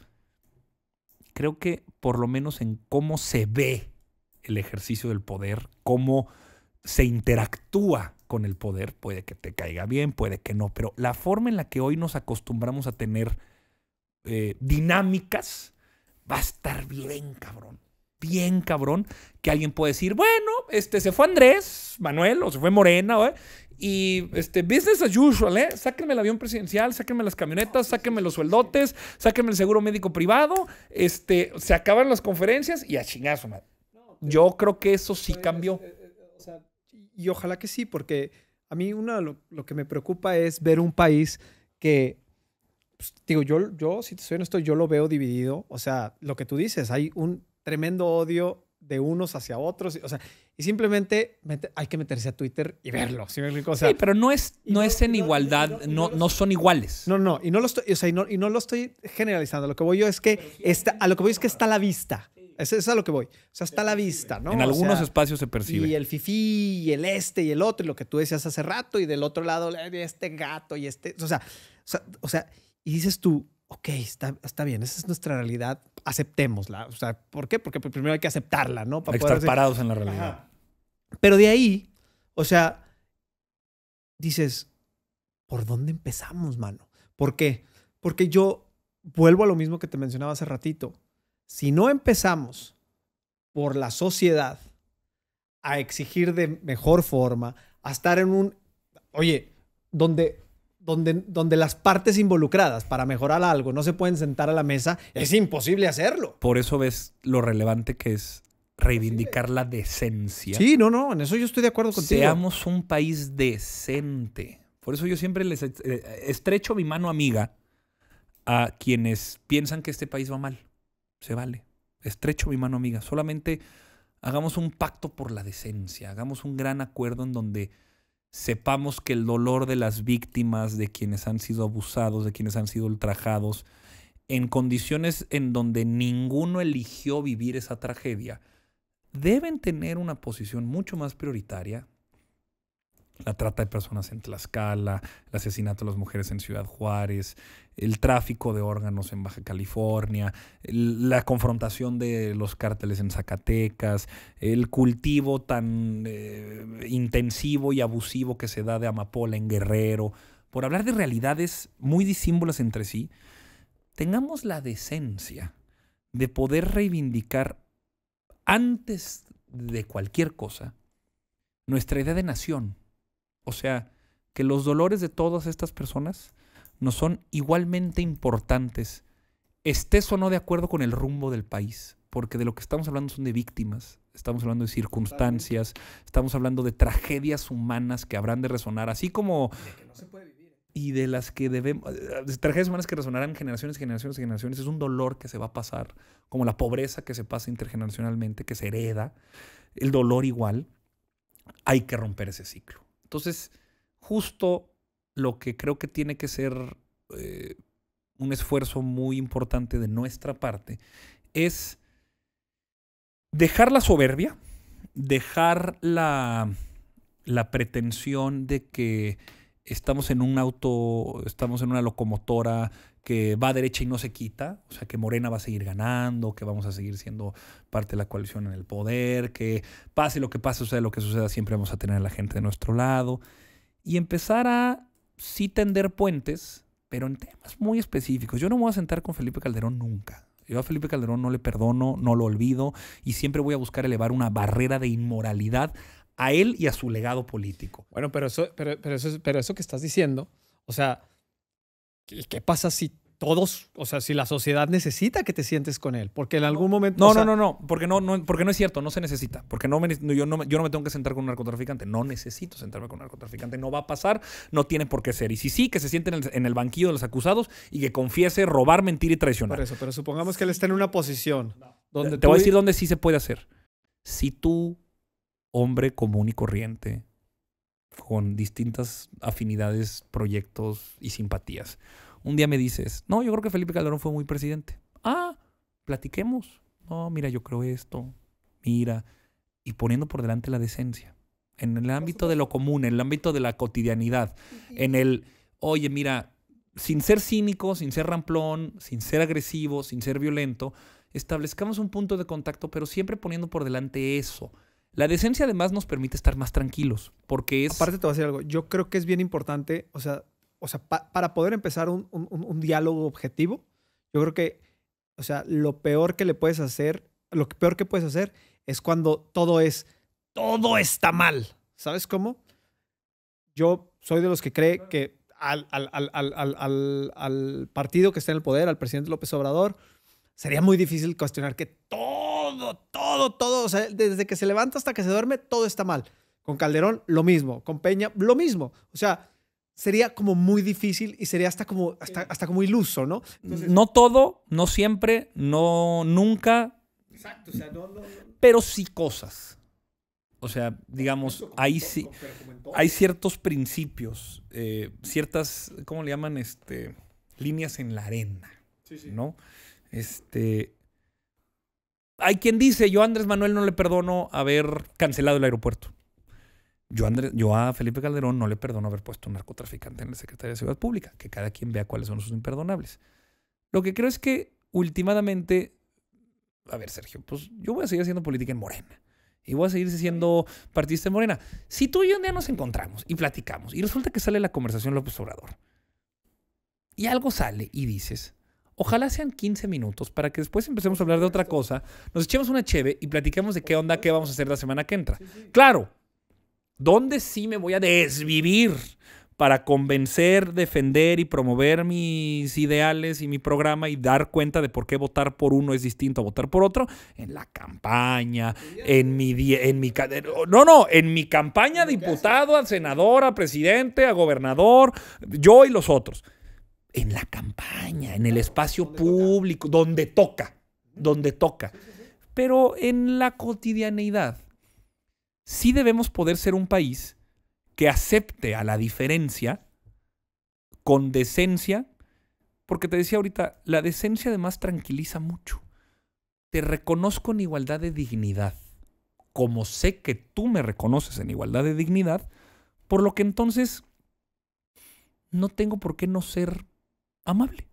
No tengo por qué no ser generoso, no tengo por qué no ser incluso respetuoso de ti y hasta de mí, en tanto que si la conversación se desvía, me hace sentir incómodo, o tú te haces sentir incómodo, o yo ofrezco una disculpa y veo si me la aceptas, o yo me retiro y evito una confrontación estéril de es que tú, pinche chairo, tú, pinche fifín. A ver, sobre eso sí hay que mejorar esa conversación, hay que apelar a la decencia, hay que construir esos puntos de contacto otra vez. Aparte, si vas al origen de la mayoría de las palabras, ni siquiera tienen sentido. ¿eh? No, no, no, no hay por qué eh, negarnos, porque eso lo hace solamente eh, el exterminio fascista. Eso solamente lo hace quien está en una guerra. El exterminio entre enemigos solamente se hace en donde no sea donde no se conoce otra forma de existir que no sea la violencia. Yo creo que en una democracia republicana, federal, eh, como la que vivimos y en la que creo que vamos a seguir viviendo, podemos convivir con eso. Entonces, por eso, eh, pues ahora sí que, ¿qué hubo con López Obrador cuando me cuentan, me dicen, hablamos? Pues nada, chido, todo bien. Si alguien se interesa, si alguien me pregunta, tengo un tío fantástico con el que viví, que se llama Bosco. Siempre se acerca. Es un tipo que no le cae bien López Obrador. No le gusta López Obrador. Pero me quiere mucho a mí. A su sobrino. Al hijo de su hermano mayor. Y siempre me pregunta, ¿cómo vas? ¿Qué haces? ¿A dónde fuiste? ¿Con quién estuviste? Ay, qué padre. ¿Y qué te dijo? ¿Y cómo lo hiciste? ¿Y cómo lo resolviste? ¿Por qué? Porque se relaciona conmigo como alguien que me quiere. Mi tío que me quiere y que quiere escuchar de su sobrino sus aventuras. Oye, qué padre. No, mira, yo te recomiendo que hagas esto.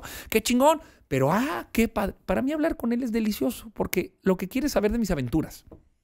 Entonces también, cuando alguien me pregunta, pues les cuento como de, pues es a lo que me dedico. Con total honestidad, con absoluta convicción, con ninguna pizca de hipocresía. Pero puedo reconocer dónde sí, dónde no y dónde a veces hablar de eso. O sea, ¿y, para qué? Entonces, eh, distensamos un poco el- el- el- el- la, ansiedad. Totalmente, totalmente. Y, y yo, soy, yo soy de los que cree que, que, que sí vivimos en un país muy lastimado. Yo creo que hasta el momento no se ve por dónde. Yo lo creo, o sea, bueno, lo veo y, y- y digo, hace falta salir a la calle, hablar con la gente, que te digan esto, lo otro, sin poner una bandera política, ¿eh? nada más hablar de la situación de cada uno. Pero creo que el primer Pero paso sí está mejor, tenemos- Sergio. Bueno, tú me podrás decir esto, o sea, Para, te digo, para te digo, algunos no- sí está te digo, y mejor. no- no, quiero caer en eso. Exactamente. Para algunos está mejor. Ahorita hablábamos de una idea de nación. Tú hablas de una idea de nación. Necesitamos una idea de nación donde quepan todos. Y todos es todos. ¿Sabes cómo? Espérame, espérame, espérame, espérame. No, no, pero déjame, déjame, déjame termino esto. Déjame termino esto. Y, y, y a lo mejor, y a lo mejor, desde tu punto de vista, te vas a ir a un tema de que crees que lo, que crees que lo estoy hablando de, ah, como Sergio de oposición, este, entonces creen que los de, que suponiendo que fuera así, o sea, creemos que la, la gente que está en la oposición, que antes eran los que sí cabían, hoy no caben y por eso estamos enojados. Pero mi punto es, yo hoy a la gente que no se toma, que no la tomaban en cuenta antes, o sea, la sigues viendo igual de lastimada, ¿sabes? Lo único a lo que quería llegar era, antes de que me, me, me, me, me piñatees, como, es, es que te escuché decir algo así en una entrevista que se me piñatearon toda la entrevista. Ah, sí, Entonces que ahora me están piña- ahora, Sí, sí, sí. ahora me va a piñatear Ay, a mí. este vato Entonces, mi punto es, o sea, creo que el primer paso, o sea, te digo, ni siquiera quería caer en una confrontación. A lo que voy es que el primer paso es que tenemos que salir de cuando alguien tiene una postura, no tener la apertura para entender por qué la tiene. ¿Sí? Y tener la apertura de poder generar un diálogo para construir algo, no para hacernos pedazos. Ahí te va cómo es delirante o neurótico que nos acusen de eso. Andrés Manuel tiene 20 años diciendo algo. Para que nos vaya bien a todos, primero están los pobres. O sea, ¿qué dice? En el mismo tiempo que yo tengo para gobernar y con más o menos los mismos recursos que mi anterior, eh, que mi predecesor, yo tengo el objetivo de que todos estemos bien. Pero creo que para lograr que todos estemos bien, hay una opción preferente, prioritaria, principal, que debe poner primero a los pobres. Pero eso no quiere decir que los demás no caben. No, justo no, justo no. O sea, es que diste el, o sea, este, inadvertidamente llegando al punto. Claro, quien cree, o sea, ¿de dónde sacan o de dónde derivan o de dónde sienten que al no ser ellos prioritarios, o sea, un poco como, es un poco el fenómeno quizá tú estés más familiarizado también, eh, ¿cómo sucede cuando en la reivindicación de Estados Unidos sale los Black Lives Matter? De, oye, a ver, la discriminación sistemática en contra de la población afroamericana en Estados Unidos nos pone en una situación de vulnerabilidad mucho más complicada que cualquier otra. Y hay alguien que dice, no, no, no, es que all lives matter. No solamente, all lives matter. Sí, carnal, claro que sí, pero ¿qué crees? Resulta que a los negros, a la población afroamericana en Estados Unidos, pues ese All Lives Matter no aplica tanto, por lo que entonces tengo que decir, hola, buenas tardes, Black Lives Matter. Un poco aquí igual, para que nos vaya bien a todos, a Torreón Jardín, al Campestre, a Viñedos, a Las Villas, muy local lo que estoy diciendo, pero bueno, o sea, a Torreón Jardín, a- a San Isidro, a Torreón Jardín, al Campestre, a eh, Las Villas, a la Hacienda del Rosario, a Las Trojes, A la alianza, todo. y también a la Alianza, a la Durangueña, a la 20 de noviembre, este, a la Camilo Torres. ¿Qué vamos a hacer? Poner primero a la Camilo Torres. ¿Por qué? Porque la Camilo Torres es un tiradero. Es un tiradero que no tiene agua, no tiene luz, no tiene drenaje, no tiene pavimento y la gente ahí se muere de una diarrea porque contraen tifoidea. En Torreón Jardín, todo lo que dije, o en el campestre, todo lo que dije ya está cubierto y en donde tiene un punto de contacto con la Camila Torres es quizá seguridad. Ah, bueno, atendamos el problema de seguridad y de alumbrado público. Solo que, pues, en vez de atender 15 veces el alumbrado público del campestre, mejor una vez y bien, y el tiempo restante y el recurso que me sobra, pues en poner pavimento, agua, luz, drenaje eh, y limpiar la Camilo Torres. Estoy de acuerdo completamente. ¿eh? Gracias. ¿Dónde- Completamente. ¿Cuándo te afilio? Espérame, no, no, no, no, pero... tu formato pero- de afiliación. No, no, no, no, no, es que, es que es justo a lo que voy, o sea, estoy de acuerdo con todo lo que acabas de decir, o sea, totalmente, no, no- ni siquiera habría cómo no estar de acuerdo. Claro. Pero en el discurso se vuelve otra cosa, se vuelve, se- se- hay ataques, no me vas a decir que no. ¿De qué? Etiquetar a la gente, y estos fifís, y estos... eh, Pues sí son. Rateros, y estos... estos. Pues sí son. Sí, sí, sí, estoy de acuerdo. O sea, Pero- llamar por su nombre a las cosas Pero, pero bájale, cabrón. o no. A ver, en este país Entonces, entonces no caben todos. no, no cabe el clasista, no cabe el ladrón, no cabe el traidor, no cabe el mentiroso. Claro Sí. que no. Pero espérame. No significa Pero el a la oposición, ¿eh? El mentiroso, el ratero, el aspiracionista. El No. aspiracionista, espérame, el aspiracionista es desde su lupa. O sea, él, él dice quién Bueno, es clasista, quién es racista, quién es esto, No. quién es aquel. Él- No, no, pero el ¿Cómo presidente. si les a pone ver, nombre y apellido? No, bueno, a ver, pero tú vas a defender a Germán Larrea o tú vas a defender a eh, los Genaro García Luna por regresar otra vez. o sea, él no, él no está diciendo. A ver, alguna vez lo llegó a decir incluso, que es muy chistoso el señor. Dice, a ver, este. mm, cuando yo hablo de fifís, hablo de gente que No tiene es tan 500. chistoso. Es chistosísimo. No, es el mejor, es el mejor stand-up comedy No, no, de este no, país. no, es no, el mejor no, no. stand-up comedy, noticiero y programa informativo de este país. La mañanera, la mañana, después, la mañanera y luego siempre en domingo. O sea, no hay mejor programa de televisión en la historia política, en la historia de la televisión mexicana.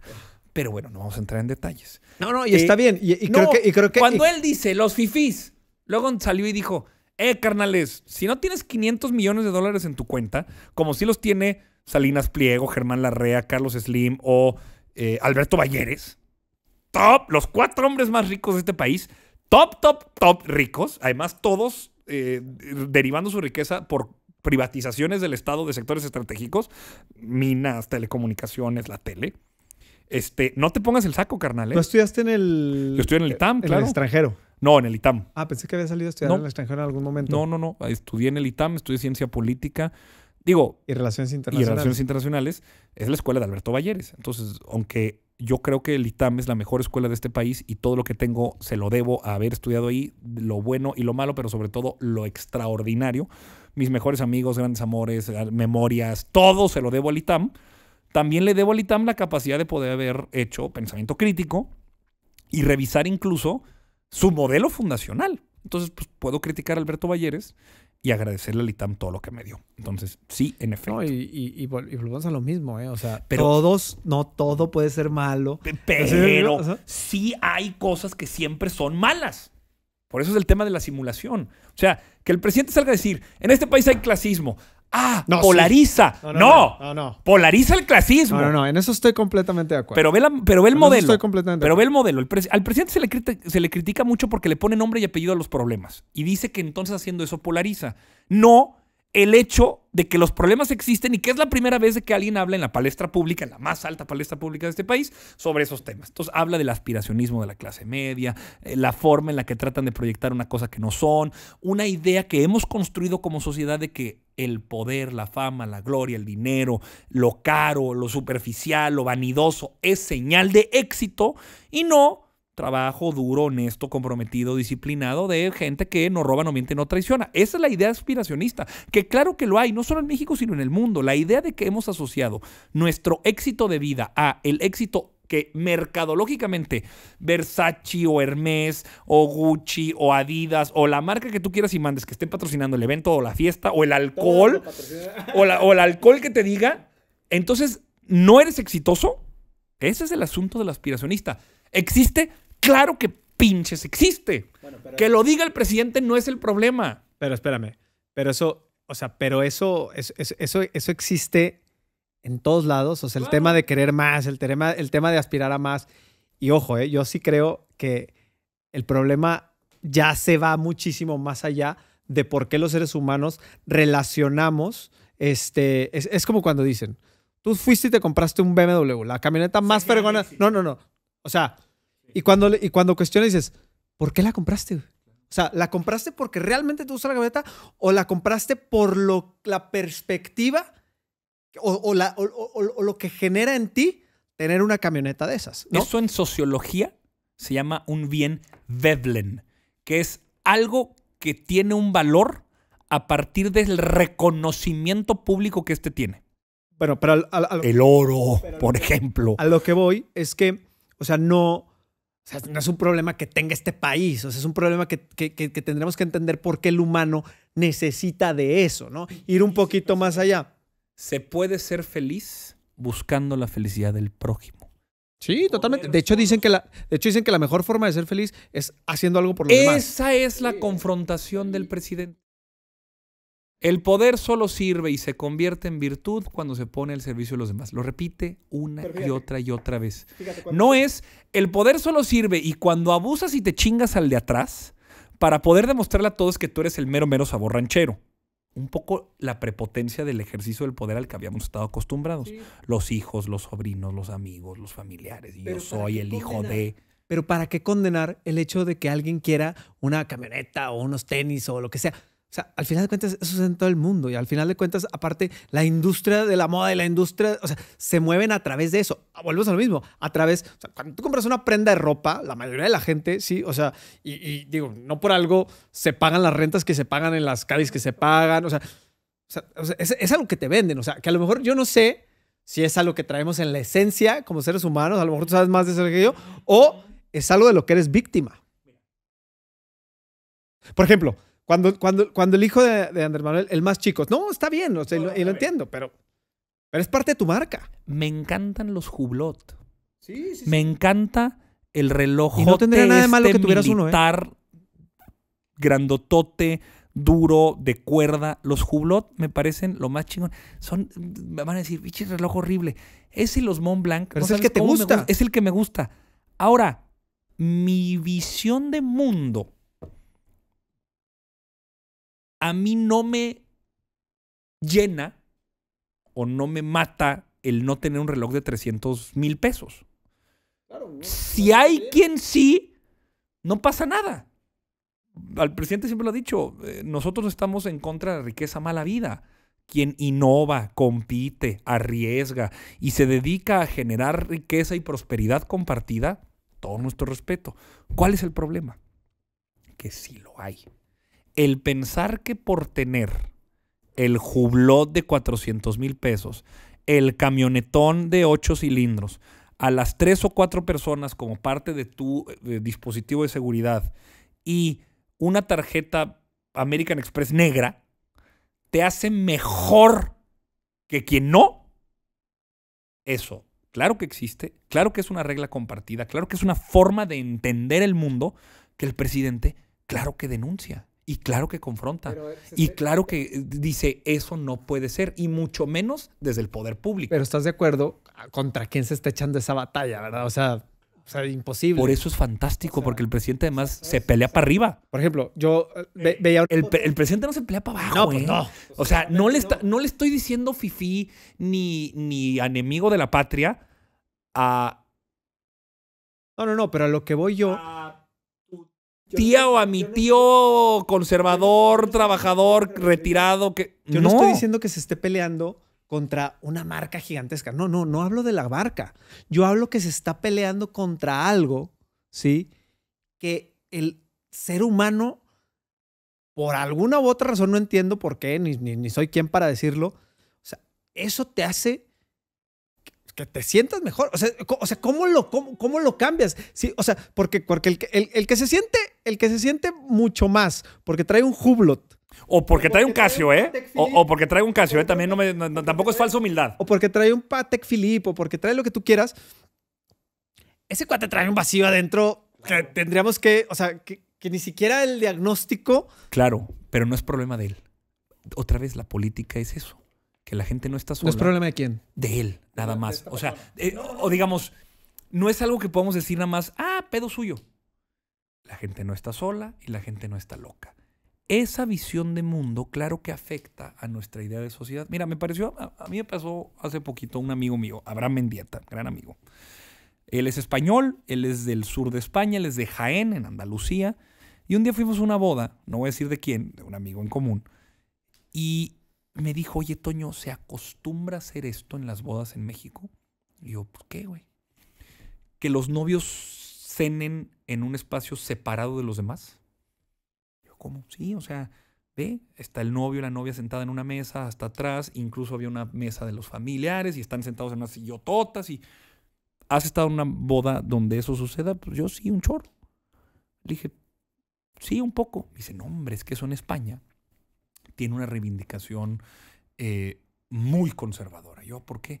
Es que eso apela a una herencia monárquica. que- un tema hasta medio... O sea, de, de- de la más alta conservadora jerarquía social de quienes se asumen como si fueran príncipes y princesas. Pero es que al final de cuentas es la historia que cuenta una boda.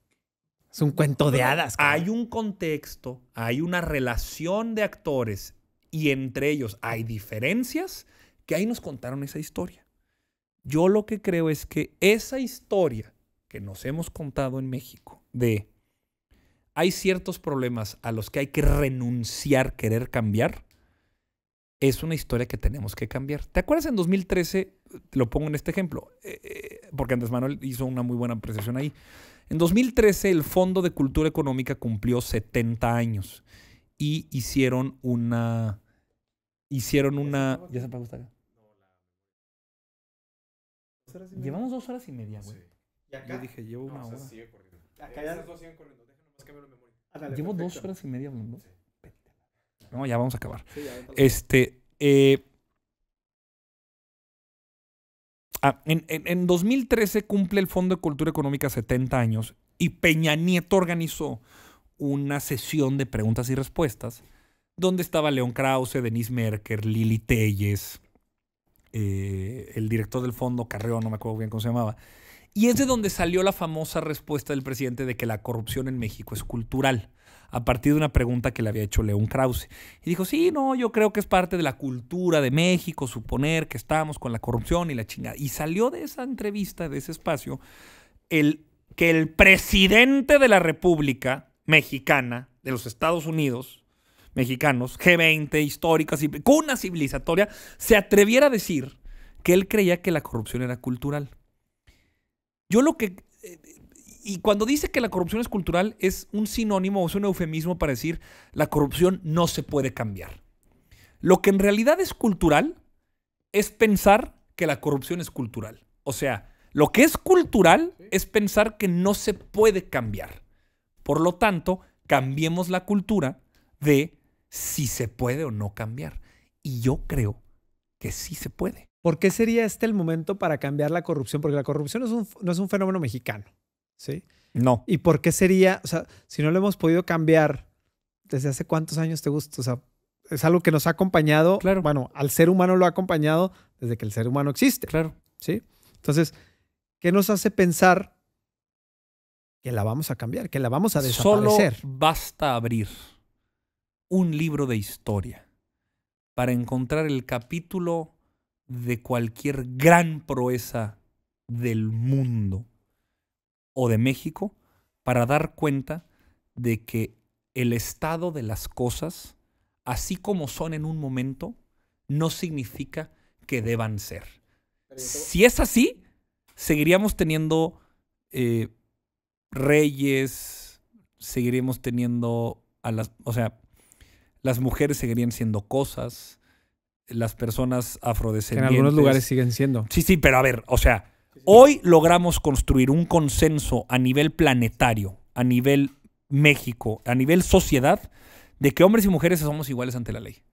De que una persona, ante la ley, una persona, sin importar su origen socioeconómico, étnico, orientación sexual o condición física, no es más o menos en dignidad humana. Eso eh, antes no existía. Y se me ocurre un gran ejemplo que es el que siempre he puesto. ¿Tuviste Men in Black? ¿Te acuerdas de Men in No me Black? acuerdo mucho, pero sí la vi. Eh, te- seguramente te vas a acordar en la primera película de Men in Black, cuando eh, Will Smith, que era Jay, es reclutado para ir a esta agencia y darse cuenta de que pues, hay una policía intergaláctica que cuida la seguridad de los terrícolas. Y sale y dice, no mames, no chingues, ¿qué es esto? ¿Cómo está pasando? ¿Cómo me va a pasar? Y llega Kay, Tommy Lee Jones, y le dice una gran frase. ¿Qué mamas, güey? Bueno, ahí me censuran. pero, este, ¿De qué te preocupas? Hace mil años tú creías que la Tierra era plana. Hace 500 años tú creías que el Sol giraba alrededor de la Tierra. Hace 20 minutos tú no sabías que había una agencia intergaláctica que cuidaba por la seguridad de los terrícolas. ¿Qué te pasa? Idéntico. Hace 200 años las mujeres y los hombres no estaban en igualdad ante la ley. Hace 60 años las mujeres no podían votar. Y hace 5 en México creíamos que la corrupción era cultural y que nadie la podíamos cambiar. Tuvo que llegar un fenómeno histórico tan excepcional como Andrés Manuel López para que una generación de hombres y mujeres como la mía, los obradoristas, creamos que en Coahuila en 2023, después de 96 años de gobiernos del PRI, vamos a poder ofrecerle a 3 millones y medio de personas en 38 municipios con una capacidad y una vocación y un proyecto de vida tan amplio como los sueños de cada uno de ellos, la posibilidad de hacer algo que en un siglo nadie ha podido. De ese tamaño es la apuesta de Andrés Manuel y de ese tamaño es la marca de los obradoristas, que así como en la Revolución Francesa o en la imprenta o en la cristiandad, donde convencíamos, o sea, las grandes revoluciones en este mundo han sido la cristiandad, que nos hizo hacer todos iguales ante Dios, el Internet, digamos, que nos hizo, o sea, la cristiandad que nos hizo hacer todos iguales ante Dios, la democracia que nos hizo a todos valer lo mismo, un voto, el Internet que democratizó los nodos discursivos y entonces Televisa, tú y yo, as- apel- asume mi historia. Ok, ok. Me mantengo el script. Ma- Mantente el script. Creo que en, esos, en ese momento cosas excepcionales en el mundo sucedieron que cambiaron el rumbo de la historia. Creo que sí es posible y no es exagerado, no es retórico, no es ni siquiera cursi. Sí poder decir que podemos vivir en un país en el que sin importar tu código postal, el apellido que cargues y el material de cuna en el que te criaste, todos y todas vamos a poder vivir un proyecto de vida en libertad. ¿Vale la pena luchar por eso? Sí. ¿Voy a verlo completado? Probablemente en mi vida no. Pero y si sí, va a ser un día hermoso. Y creo que eso es algo que Andrés Manuel López Obrador y el momento político en el que estamos, ya hoy pensamos, dudamos o alimentamos una intuición de, ¿y si sí? ¿Y si sí se puede? Igual Andrés Manuel no va a ser la persona encargada de eso. Y Andrés Manuel va a atorar en el disgusto a una generación por los años de los años. Pero aquí estoy yo. Y como yo, millones más de hombres y mujeres que les ha tocado vivir en este tiempo y en este momento, en este espacio, en este tiempo, que ven que sí vamos a poder ofrecer una certeza en política. ¿Cuál? Que no nos gobiernan hijos de la chingada. Así es. No está tan difícil, ¿eh? O sea, no está tan difícil dar la certeza de que no robamos, no mentimos y no traicionamos. Básicamente, no seas un hijo de la chingada y sé un hombre o una mujer decente. ¿Cómo le...? Híjole, es que... Mira, a mí una cosa que me sorprende mucho de los, del gobierno, o sea, y te digo, y es, la, primera parte donde me vuelvo como un poquito, o sea, que, lo rechazo, en, del color que sea, ¿eh? este, es por ejemplo, ahorita hace rato hablábamos del tema de Cárdenas, de cuando se cae el sistema y resulta que haces, bueno, independientemente de lo que haya tenido que ver o no, o sea, y lo hablo por, por, por Bartlett, ¿sí? Que hoy aparece aquí. No estoy hablando de que si el sistema y que se. Está bien, vamos. Eso, eso ya todo mundo, o sea, tiene su, su, su idea. No, no, yo no quiero convencer a nadie de otra cosa. Tanto los que dicen que sí, que los que dicen, ok. Digo, ¿cómo? Desde entonces ahí está. Dices, ¿cómo, ca? O sea, ¿a qué hora, a qué hora viene algo nuevo? No tienes mis notas, cabrón. No, voy, voy- voy a, voy a- no, no, voy a, di- voy a dibujar algo. Es que, mira, es el mejor ejemplo, es el mejor ejemplo para defender algo. Mira, ni me- ni- no me quiero meter en el detalle, Sí, no, no, no, no, no. O sea, lo único que quiero entender es. pero quiero defender dos principios. Quiero defender cuatro principios. Primero, en política no hay sorpresas, hay sorprendidos. Manuel Bartlett forma parte del movimiento obradorista de manera pública y notoria al menos desde 2004, en la defensa soberana del sector eléctrico. ¿De la mano de quién? Del ingeniero Cárdenas. Por lo menos de 2004, primer principio. Entonces, ah, chinga, este, ¿y Manuel Bartlett qué hace aquí? Pues Manuel Bartlett tiene 20 años aquí. Es, es que eso es lo que eso es a mí lo que me sorprende. Lleva aquí luchando ya mucho tiempo. Claro, es un señor que tiene 84 años. O sea, Es que es justo lo que me sorprende. O sea, yo no te estoy, yo no te estoy cuestionando que esté ahí, está bien. Al final de cuentas, cada quien persigue su camino y ca- o sea, eso está bien. Yo mi punto es, ¿qué dices? ¿Cómo, güey? O sea, seguimos en eso. Como hay, como hay otros, ¿eh? Sí y no. Porque cuando hablo de defender la decencia, quiero también defender para el análisis tres principios. Primero, todo fenómeno social es está circunscrito a un contexto histórico. O sea, hay un tiempo, modo y lugar. No puedes entender algo si no eh, te relacionas con él en el contexto histórico en el que estaba. ¿Y qué significa el contexto histórico? Una serie de símbolos y de significantes que dan un cierto sentido a las cosas en un momento y en un lugar determinado. Segundo principio. Todo fenómeno social es relacional. O sea, no hay nada en sí mismo. Hay cosas que con respecto a otra, el mejor ejemplo es si se es de izquierda o si se es de derecha, se es de izquierda o se es de derecha respecto a algo, respecto a la desigualdad, a la libertad, a la inseguridad, lo que quieras. Es relacional.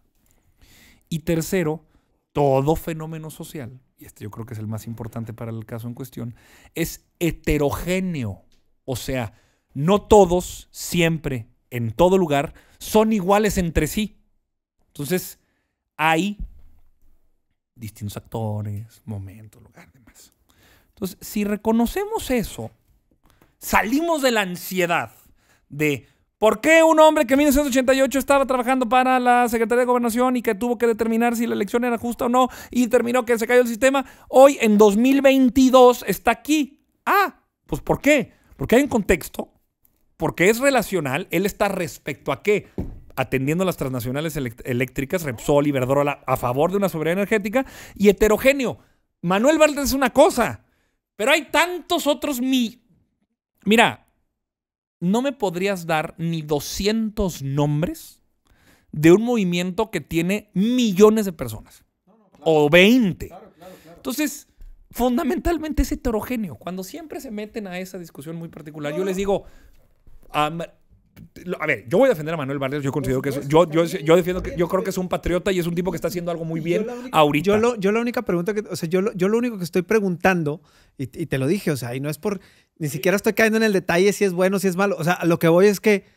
Pero si asumimos estos tres puntos, creo que la conversación se abre mucho más rica sobre los distintos puntos de vista que pudiéramos tener o no en coincidencia. Esto es defender la decencia. Hay un contexto histórico, somos relacionales, o sea, estamos en una posición específica, es relativo. No que todo es relativo, sino lo que tú dices y lo que tú haces y lo que tú puedes hacer es relativo a pues, eh, tus recursos, tu capacidad, tu momento y sobre todo que es heterogéneo.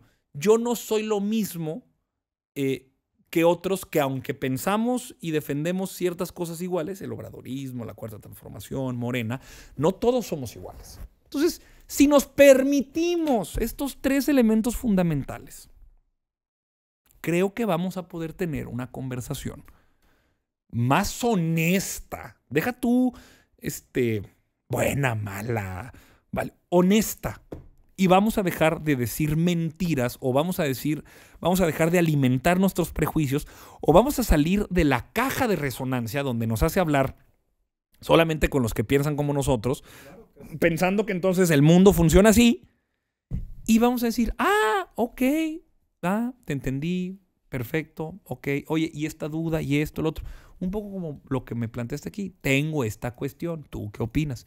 Y con eso avanzar. Sí, porque eh, justo, justo, justo esa es la pregunta que te quiero hacer. Estos son tus justo, justo eso es lo que, justo eso es lo que, la, la, pregunta que te quiero hacer. Entonces, ¿cómo hacemos para que, porque pues bueno, al final de cuentas ustedes son los que están en el, y digo ustedes no porque, o sea, no, no, sí, porque tú no te dedicas a la política. Exacto, pues exacto. O sea, ¿cómo, para que haya esa apertura de decir, ok, escuchemos a todos y caminemos? O sea, ¿cuál es la condición? Que los otros cambien de opinión? ¿O cómo pueden ellos seguir defendiendo su postura, ponerla sobre la mesa, ustedes la suya, y desde ahí se pueda construir algo? El gran acuerdo por la decencia. Porque eso significa. es que, se oye tan. O sea, es que se, oye. Se oye. Es que en política no puede. La política no se puede hacer por gente indecente. No, no, no. Pero, pues, ¿y luego qué hacemos? Poner el ejemplo. Mira. Intentamos empezar por limpiar. Mm, no yo tengo otro principio que no es mío, es de Juan Domingo Perón, que decía, un militante es aquella persona que quiere cambiar al mundo con su ejemplo. No hay forma en política de cambiar las cosas. Y ahí sí que mira cómo voy a, después de todo mi viaje, cómo voy a acabar diciendo, sí se empieza por uno mismo. Sí se empieza por eh, asumir una postura militante. ¿Y cómo es esa postura militante? Esa persona que quiere cambiar al mundo con su ejemplo. Entonces, por eso hablo tanto de eh, reconocer las diferencias, reconocer los puntos de vista y saber cuáles son mis límites y dar cuenta de que puedo hacer una de dos cosas. O procurar convencer y reconocer hasta dónde llego, o no, y retirarme. Pero no entrar en una lucha intestina violenta, agresiva, que anule, que denigre, que descalifique y que termine por ser tan agresiva que no nos terminemos por reconocer unos de otros como parte de un juego democrático. Claro, quienes lo asuman por principio, porque hay quienes hoy tienen pulsiones muy autoritarias que dicen, ¿sabes qué? Yo perdí, pero perdí en este juego y ahora no solamente no juego, sino no quiero que nadie juegue. Esa es la pulsión autoritaria que puede realmente eh, descolocarnos a todos. La decencia, los tres puntos que te platicaba, el reconocer nuestra igualdad inherente en dignidad y un poco dar cuenta de que últimamente sí hay, como tú decías, la posibilidad de pensar distinto y no es cínico, no es cursi y no es retórico que yo te diga, de verdad, de verdad, yo creo que se puede acabar la corrupción. Mi papá tiene un amigo este, que yo conozco de, desde que nací. Es de aquí, de Torreón. Y lo he frecuentado mucho eh, recientemente. Mucho tiempo no lo vi. Yo viví fuera, este, estudié fuera. Y nos estamos viendo. Y vieras. Eh, por eso traía ahorita cuento el reloj. Me lo ve. Y, o sea, es un reloj Casio que me compré de 400 pesos en, el, en el Sears. Y me gusta mucho porque es muy práctico. Y tiene lucecita además. Y me dice, ay, tu reloj de la cuarta transformación. Le digo, no, carnal, lo uso hace cinco años. O sea, es porque me gusta. Oye, ¿por qué traes esos pañuelos, esos este, paliacates? ¿Qué? De... Pues porque la pandemia perdí el cubrebocas y me lo pongo y me gustan mucho y además este, son calientitas. ¡Ay! Y te pintaste la barba. ¿Qué hay? ¿Quieres parecer Che Guevara? O sea, es para muchos muy... es incrédulo, les resulta increíble, literalmente increíble, no lo pueden creer, de que hay gente que neta, como para mí, la política no sea un hobby se me va la vida en esto. Me, dedico a esto de manera vocacional, o sea, se, es un llamado, es hasta un oficio, es una suerte de artesanía que todos los días invento. Eh, eh, eso es lo que tenemos que reconocer. Pero eso que te pasó a ti con, con, tu, con tu tío, bueno, con, ¿sí? Este, también pasa al revés, ¿sí? al que tiene, al que es, al que otro. No, es que este y el, Aquí es distinto, pero aquí es distinto. Hay prejuicios de clase. Uno asume que por lo que haces, por cómo hablas, por cómo te vistes, a dónde vas, en lo que te vas, cómo te ves, ciertas cosas en tu vida existen o no, o no. En mi caso, lo que te planteaba del ejemplo, es tratar de denunciar un cinismo. Lo que trata de hacer la gente es revelar que lo que, lo que yo hago es mentira. Una suerte como de traición de clase. De a ver, tú que eres así, así, así, así. Pero al final de cuentas. ¿Cómo vas a estar así? Lo que a ti te pasó es algo que, en efecto, quizá en tu historia particular y específica no es el caso, pero sí debe ser el caso de muchos otros, a grado de que hay un estereotipo o un prejuicio, pero incluso si así lo fuera, eh, en tu historia lo que te está contando el tipo es la desesperación y la necesidad de poder encontrar de qué forma trabajar, subsistir y llegar a fin de mes en una situación tan complicada y delicada como que su madre está enferma. Un poco en la lógica de es que si yo no puedo, yo estoy mal, a mí me pasa, yo soy el tonto, yo no puedo, justo. ¿Cuál es el problema de este compañero? Que no hay un transporte público eficiente, barato, sólido, que le pueda llevar rápido a su casa. ¿Por qué? Porque vive muy lejos, porque las rentas no alcanzan para poder vivir cerca de donde están los negocios. Eso a través de una política de ordenamiento urbano que hizo que en la periferia llegara la gente. Y además de que la mamá no tenga acceso a salud y que no pueda tener un doctor, es porque el Estado no ha podido proporcionarlo. En esa historia donde él sentía la ansiedad de qué hago, qué hago, qué hago, qué hago, qué hago, porque es mi responsabilidad, porque tengo que ir, ahí hay un vacío de Estado. Te estoy sacando de la historia. Esa es la historia perfecta para dar cuenta de cómo él al final del día se quedó pensando, chinga, por huevón no acabé la capacitación y por desatendido no cuidé a mi mamá. No, es porque él vive muy lejos de los centros de trabajo, porque no le alcanza para pagar una renta más cerca, porque no hay un transporte público que lo pueda conectar de manera rápida y eficiente, camión, metro, bicicleta, y porque su mamá no puede tener acceso a servicios de salud que le garantizarían su bienestar por alguna precariedad laboral. Ve qué gran ejemplo acabas de dar cuenta. No, no, no. Y, y estoy completamente de acuerdo contigo. Digo, y en este caso no era el caso, ¿sabes? Como, o sea, pa- particular. Y por eso, digo, lo quiero recalcar porque lo entiendo, ¿sí? O sea, a lo que voy, a lo, a lo que voy es que lo entiendo. El punto es que en el momento en el que tú sientes que no hay un permiso, que no hay esto, esta es la forma en la que reviras. ¿Sí me explico? O sea, tú tienes un juicio equivocado. Dices, bueno, es que a mí... Yo ahí te pediría, porque quizá tú eres, porque además tú estás aquí y lo estoy platicando contigo, y pues ya. Lo que hay que hacer es ahí apelar la decencia, reconocer que en términos relacionales, ve cómo te digo que en mi este, punto de la decencia, el tema relacional, tú te relacionas con la enfermedad de tu madre de una forma quizá distinta a la forma en la que él se relaciona. Por supuesto. Y es heterogénea en la medida en la que además también no solamente te relacionas con la enfermedad, sino con tu trabajo de una forma distinta, porque uno es trabajador y el otro era patrón, servidor y amigo, mi amigo Sergio. Entonces, si hacemos eso, no porque lo necesites, porque en realidad tu historia acaba como una anécdota más, pero hay quienes de ahí derivan el bola de güeyes huevones que no quieren trabajar, que ante la oportunidad se van y dicen, hay una historia, hay un apellido que se le pone a eso.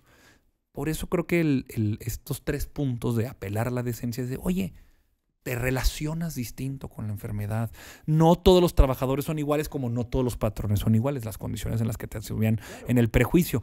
Y el contexto en el que estamos, pues quizá en ese momento y en esa situación, lo que hablo del contexto, el transporte público lejos, la edad- el hospital que no funciona, eh, la mamá que no puede tener acceso a un médico privado. Ya con eso, este caso se distensa un poco más y vemos más allá de lo evidente. Por eso creo que sí es posible construir una conversación pública decente si reconocemos esos tres puntos. Sí, pero bueno, o sea, esa parte la entiendo perfecto. Creo que ¿Cuándo nos te voy a afiliar, Sergio? No. Ya. Creo que nos salimos un Te veo poco. convencido. Nos salimos un poco el tema. Mira, te voy a hacer aquí tu, tu contrato. Pero- Este, militante de Se me fue este güey. militante de Morena. Oye, que hablando de Morena, vu- vuelvo a lo mismo. O sea, es que, qué historia. O sea, ¿Qué el nombre? ¿no? O sea, El Movimiento de Regeneración Nacional. ¿nació así o lo acomodaron? El movimiento, no, no, claro que nació así, porque además es reconociendo y recordando el movimiento magonista. En los hermanos Flores Magón, su periódico. Está tocado por, o sea, está tocado por la. No, es que la regeneración es un concepto que implica dos cosas. Una, construcción material y, y construcción material de nuevas condiciones, pero también hay un elemento moral. O sea, tú regeneras, eh, tú reconstruyes un edificio, pero tú regeneras el espíritu, ¿no? No entiendo. Y así se llamaba el periódico de los Flores Magón, Regeneración. Pero a lo, que, a lo que voy es que, bueno, o sea, digo. Y está bien, ¿eh? Porque, o sea, al final de cuentas, pues digo, sea, o sea, al final de cuentas termina siendo una marca. Digo, yo, para mí es imposible no verlo desde ese ángulo, ¿sabes? Porque, pues al final de cuentas es, es, es, es, es mi día a día.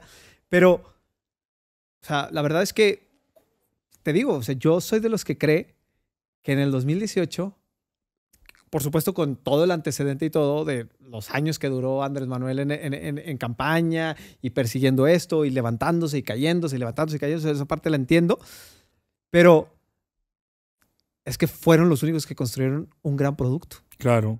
Y, y no- y no, no me estoy metiendo ni siquiera con las propuestas, nada, nada, no tiene nada que ver político. Está hablando de una marca como si hubieran vendido Coca-Cola. Sí, explicó? pero también la O sea, gente no es tonta. El nombre, este, el discurso, Claro. como lo es Donald Trump, por ejemplo, ¿sabes? Es un gran producto.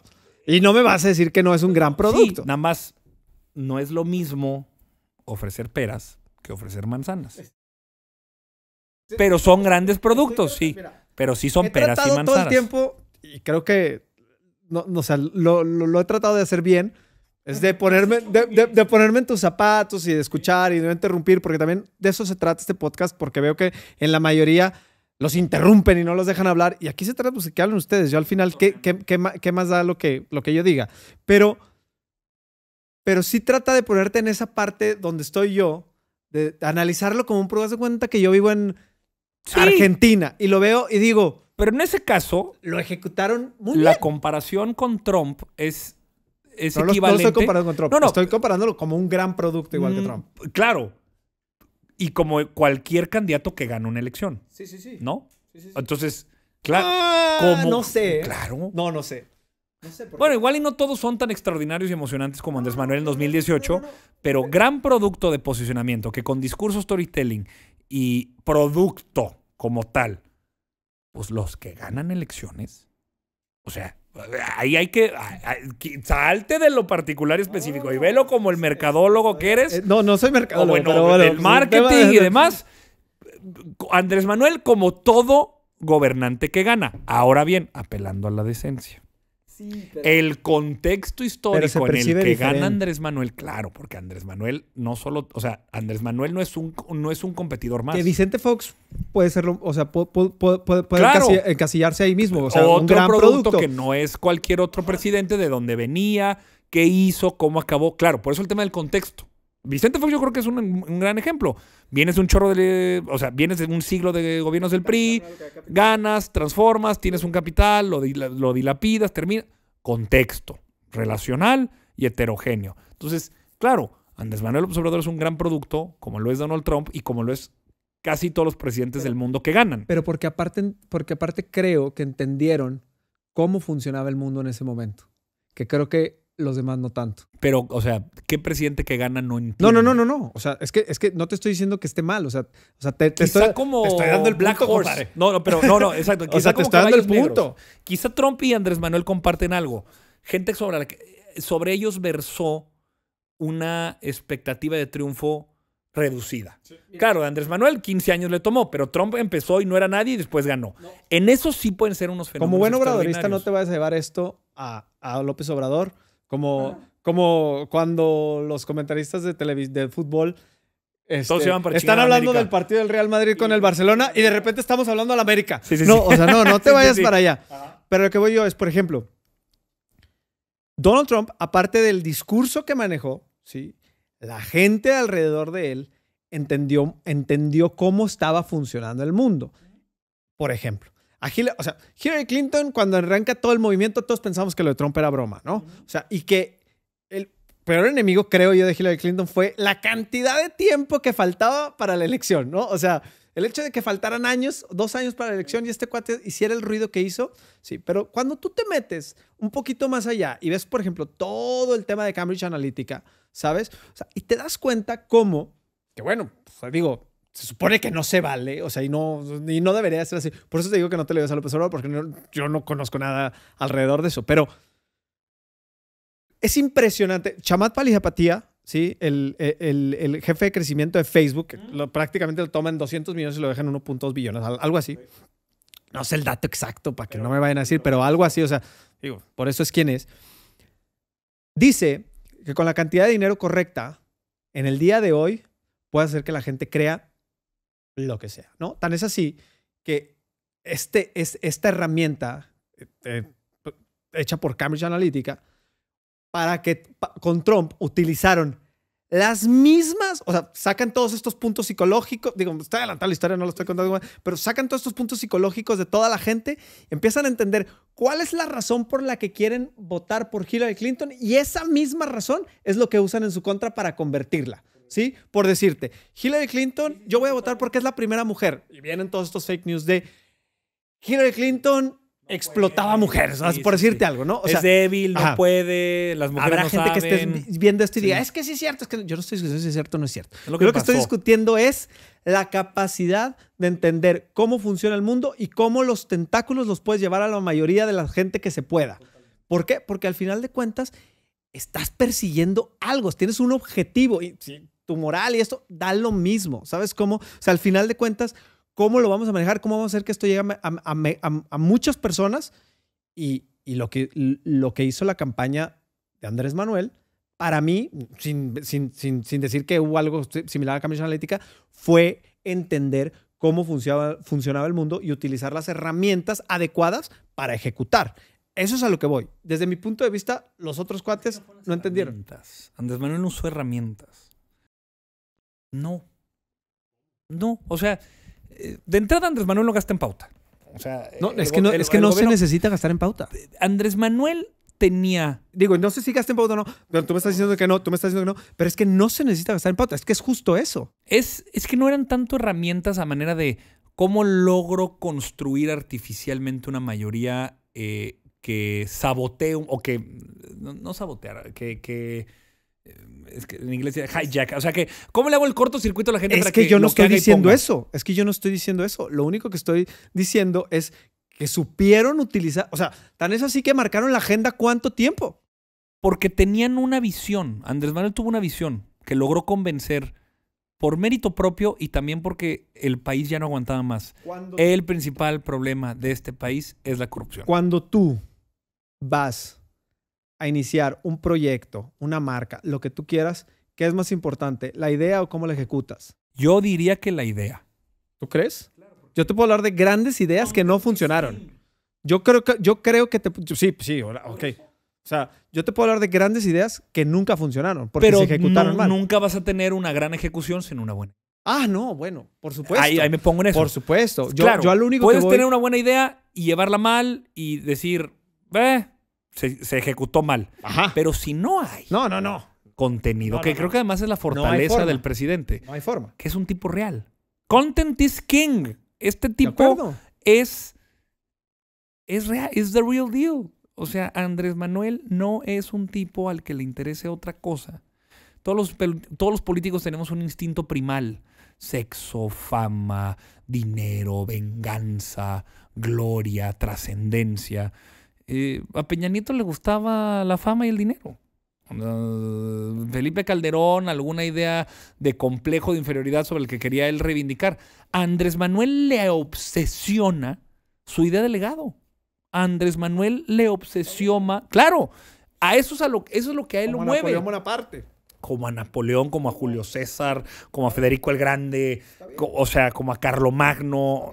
Sí, les eh, esos grandes a cada hombres quien que lo son- puede mover lo que, lo, lo que él decida. entonces, este tipo no es un eh, junior priista tamaulipeco de me suba la camionetona mamalona. Pero y es que nadie está diciendo eso. Andrés Manuel es sobre todo y Pero es que fundamentalmente. te estás llevando mi no, punto para otro lado. es que el tipo es hasta cansado en lo repetitivo que es. O sea, no tuvo que hacer. A ver, políticamente. constru- A ver, claro. Se sale de un partido, construye uno nuevo, apela a un movimiento, da apertura. Claro que es la estrategia, claro que digamos la forma en la que hace el nombre. el nombre, quién apelar a la cuarta Las transformación, palabras, las el- el palabras, todo. o todo, sea, todo. Hay una Sí, historia. por eso te refieres a herramientas, fantástico. refiero, Ese toolbox, Es que justo a eso me refiero. ese toolbox de, de cosas que tiene a su Es disposición. que, es que yo no, o sea, yo, yo en ningún momento te digo, o sea, yo, yo, por eso te dije, yo me estoy separando, yo, no, yo ni siquiera, haz de cuenta que vot- me tocaba votar, haz de cuenta que es de un país externo al mío. Yo lo puedo ver y puedes decir, es que lo hicieron de forma excelsa, güey. O sea, a nivel marca, o sea, a nivel movimiento. Yo no estoy diciendo que el contenido, o sea, yo, yo diga, ah, es que el, su lo que él decía era lo correcto. No, no, no, yo no estoy diciendo yo eso. sí, Yo lo bueno. único que estoy tratando de entender, sí, para ti sí, pero para mí es un tema de decir, ay, cabrón, fueron los únicos que le entendieron. Fueron los únicos que le entendieron. Y eso creo que además habla. Crecieron en jóvenes del 2006 ¿Ahora? Sí, sí, sí, sí, sí. No, no, ganamos en todos los sectores eh, demográficos. Pero no, pero, pero, específicamente en eso. ¿Crecieron? Sí, porque además había más, Pues sí, sí, bueno. ¿no? O sea, Obviamente, por- sí, sí, pero, sí. o sea, no solamente había más, sino que mayoritariamente votaron por Pero, Andrés pero si estás de acuerdo, Claro. y digo, y nos digo, lo que dijimos, el internet no olvida. Nos podemos echar un clavado y vemos la presencia que había. Y, y no estoy diciendo pautada. O sea, la presencia. Le entendieron. Le entendieron. No, cuando Andrés Manuel lo acusaron de que los rusos estaban interviniendo en la elección y que sale y dice, este, aquí estamos este, esperando al oro ruso de Moscú, güey, pues se ganó la elección pitorreándose de la Y principal per- intriga y- de y lo que le perdóname, acusaban. Pero el tema, por ejemplo, lo del avión presidencial, la rifa. O sea, son historias. no que voy a la vivir en lo gente pino, cuenta. está embrujado y La- todos, ah, ja, ja, ja, ja". Encan- Por eso digo que es el mejor estandopero de este país, es el mejor noticiero, es, el un- mejor es- programa es de un- televisión es después de siempre domingo. El otro día escuchaba a un comediante gringo, no, no me acuerdo quién, creo que Trevor Noah o al- alguien de ellos, y decía, no, no, no, no sé si era Andrew Schultz, Trevor- no, bueno, no sé. El caso es que decía, oigan, voy a decir algo que a lo mejor este, todo el mundo me va a odiar, pero no extrañan a Trump. Y no tenía nada que ver con la política. Tenía que ver con, decía, si es que no me pueden negar, que era súper entretenido. El mismo, un- un- no sé si fue el CEO de CNN o algún ejecutivo de por el estilo, y decían Sí, que uno de los temas más complicados de la elección fue decidir si pasaban los discursos de Trump enteros o los cortaban. ¿Por qué? Porque al final de cuentas ellos venden entretenimiento. ¿Sabes? Porque, un- o sea, CNN es un programa, plataforma de entretenimiento y el que que es una plataforma, o sea, bueno, pues vamos a tener eso. Pero dices, ay, caray, pues yo al final de cuentas estoy para rendirle. La responsabilidad de un CEO es entregarle cuentas a sus accionistas. Todo lo demás no importa. La verdad. O sea, sí es. Claro, o sea, es una empresa. Así es. Entonces, entras en esta decir, híjole, lo que estamos haciendo crecer este hombre, pero lo que nos está ayudando él a nosotros. Entonces, entras en una disyuntiva donde se vuelve muy complicado decidir entre lo que está bien y lo que está mal. Por eso lo tienes que ver como un tema de, ¿lo hicieron bien o lo hicieron mal a nivel perseguir el objetivo? A la postre, muchos, eh, a, la larga, muchos jefes de medios, me lo contaban, eh, jefes de redacción, hacen esa misma reflexión con Andrés Manuel en 2006, porque Andrés Manuel empezó a hacer sus conferencias mañaneras como jefe de gobierno y todos y cada uno de los reporteros de la fuente, de todos y cada uno de los medios estaban ahí. Todos los días cubriéndolo, todos los días dando nota, todos los días hablando de él por este ejercicio tan inédito que un gobernante del tamaño como el jefe de gobierno de la Ciudad de México estaba haciendo. Y pues últimamente ese fue eh, pues la razón por la que Andrés Manuel creció tanto y que llegó a competirles en una visión completamente distinta de país. Te digo, yo, yo sí soy de los que cree que no es solamente el- el- o sea, la empatía de la gente que lo sigue, que cree en él, como tú. No, so- no creo que solamente la gente que estaba harta, estaba cansada, sino que veo una ejecución que, que, que, que ha- que habría muchas marcas que, que, te lo juro, dirían, oye, ¿quién te la manejó? Porque no necesitamos algo así. Para terminar, rápido, quiero que me contestes algo. ¿Hay espacio en la política para gente nueva? ¿O están cerradas las puertas? Te lo pregunto por dos razones. La primera, yo creo que la mayoría de la gente, perdónenme que, perdónenme que regrese al tema de Estados Unidos, pero hay, hay un tema en Estados Unidos que te dicen, o sea, ¿quieres cambiar las cosas? Run for office. ¿Sabes cómo? O sea, no estés aquí en la mesa diciendo y opinando con un, con un whisky. O sea, run for office. O sea, si quieres hacer algo, postúlate para algo, ¿no? Y, haz, y cámbialo, haz, haz algo. Pero pareciera que aquí puede causar mucho miedo, ¿no? O sea, ¿por qué? Porque empezar un camino en la política, pues empieza uno solito, ¿verdad? O sea, y a empezarse a abrir camino y eso y lo otro. Y te lo pregunto porque creo que, eh, digo, a pesar de que, de que, de que, de que estás en el partido que está en el poder, eh, digo, no sé si eso traiga algo, algo de que te haga sentir más tranquilo, pero eres alguien que te reconozco que dices las cosas como son y lo como piensas y de verdad yo sí creo que estás, o sea, que estás convencido de lo que dices, ¿no? Entonces, para quien tiene miedo, pero para quien tiene ganas de decir, de decir algo y la- que tiene, que, que- quien tiene ganas de decir, oye, bueno, pues la única forma de cambiar mi realidad es si yo participo en ese cambio, ¿no? En ese, en ese, en ese proceso. ¿qué les dirías a alguien que quiera participar? O ni te metas. No, claro. Todos tenemos que, a ver, todos tenemos que, o sea, a ver, militar en un partido político es una gran novedad. ¿Tú conoces a amigos tuyos que militen en un partido político? Ni aquí o en Estados Unidos, ¿no? Así O que. sea, Estados Unidos, o sea, los que están registrados pero para... digamos, eh, registered voters, Ajá. pero así que digas, hago vida no, no. partidista. No, no, la Aquí- verdad no aquí conozco. en México, No, la verdad no conozco. un poco me pasa a mí en mi generación también. Yo tengo muy pocos amigos, los tengo, eh, pero digamos, claro, mis amigos de la política, pues todos estamos en el partido, pero de, de el- la vida desde que nací hasta que llegué al partido, nadie a mis alrededores tenía la militancia de un partido eh, como parte de sus valores o de sus objetivos. Es padrísimo. Es lo más padre que puede hacer alguien, es ir y militar con hombres y mujeres que comparten una visión de mundo que desde tu posición particular van a hacer todo lo posible para tratar de convencer a otros tantos de que esa es la mejor manera de proceder.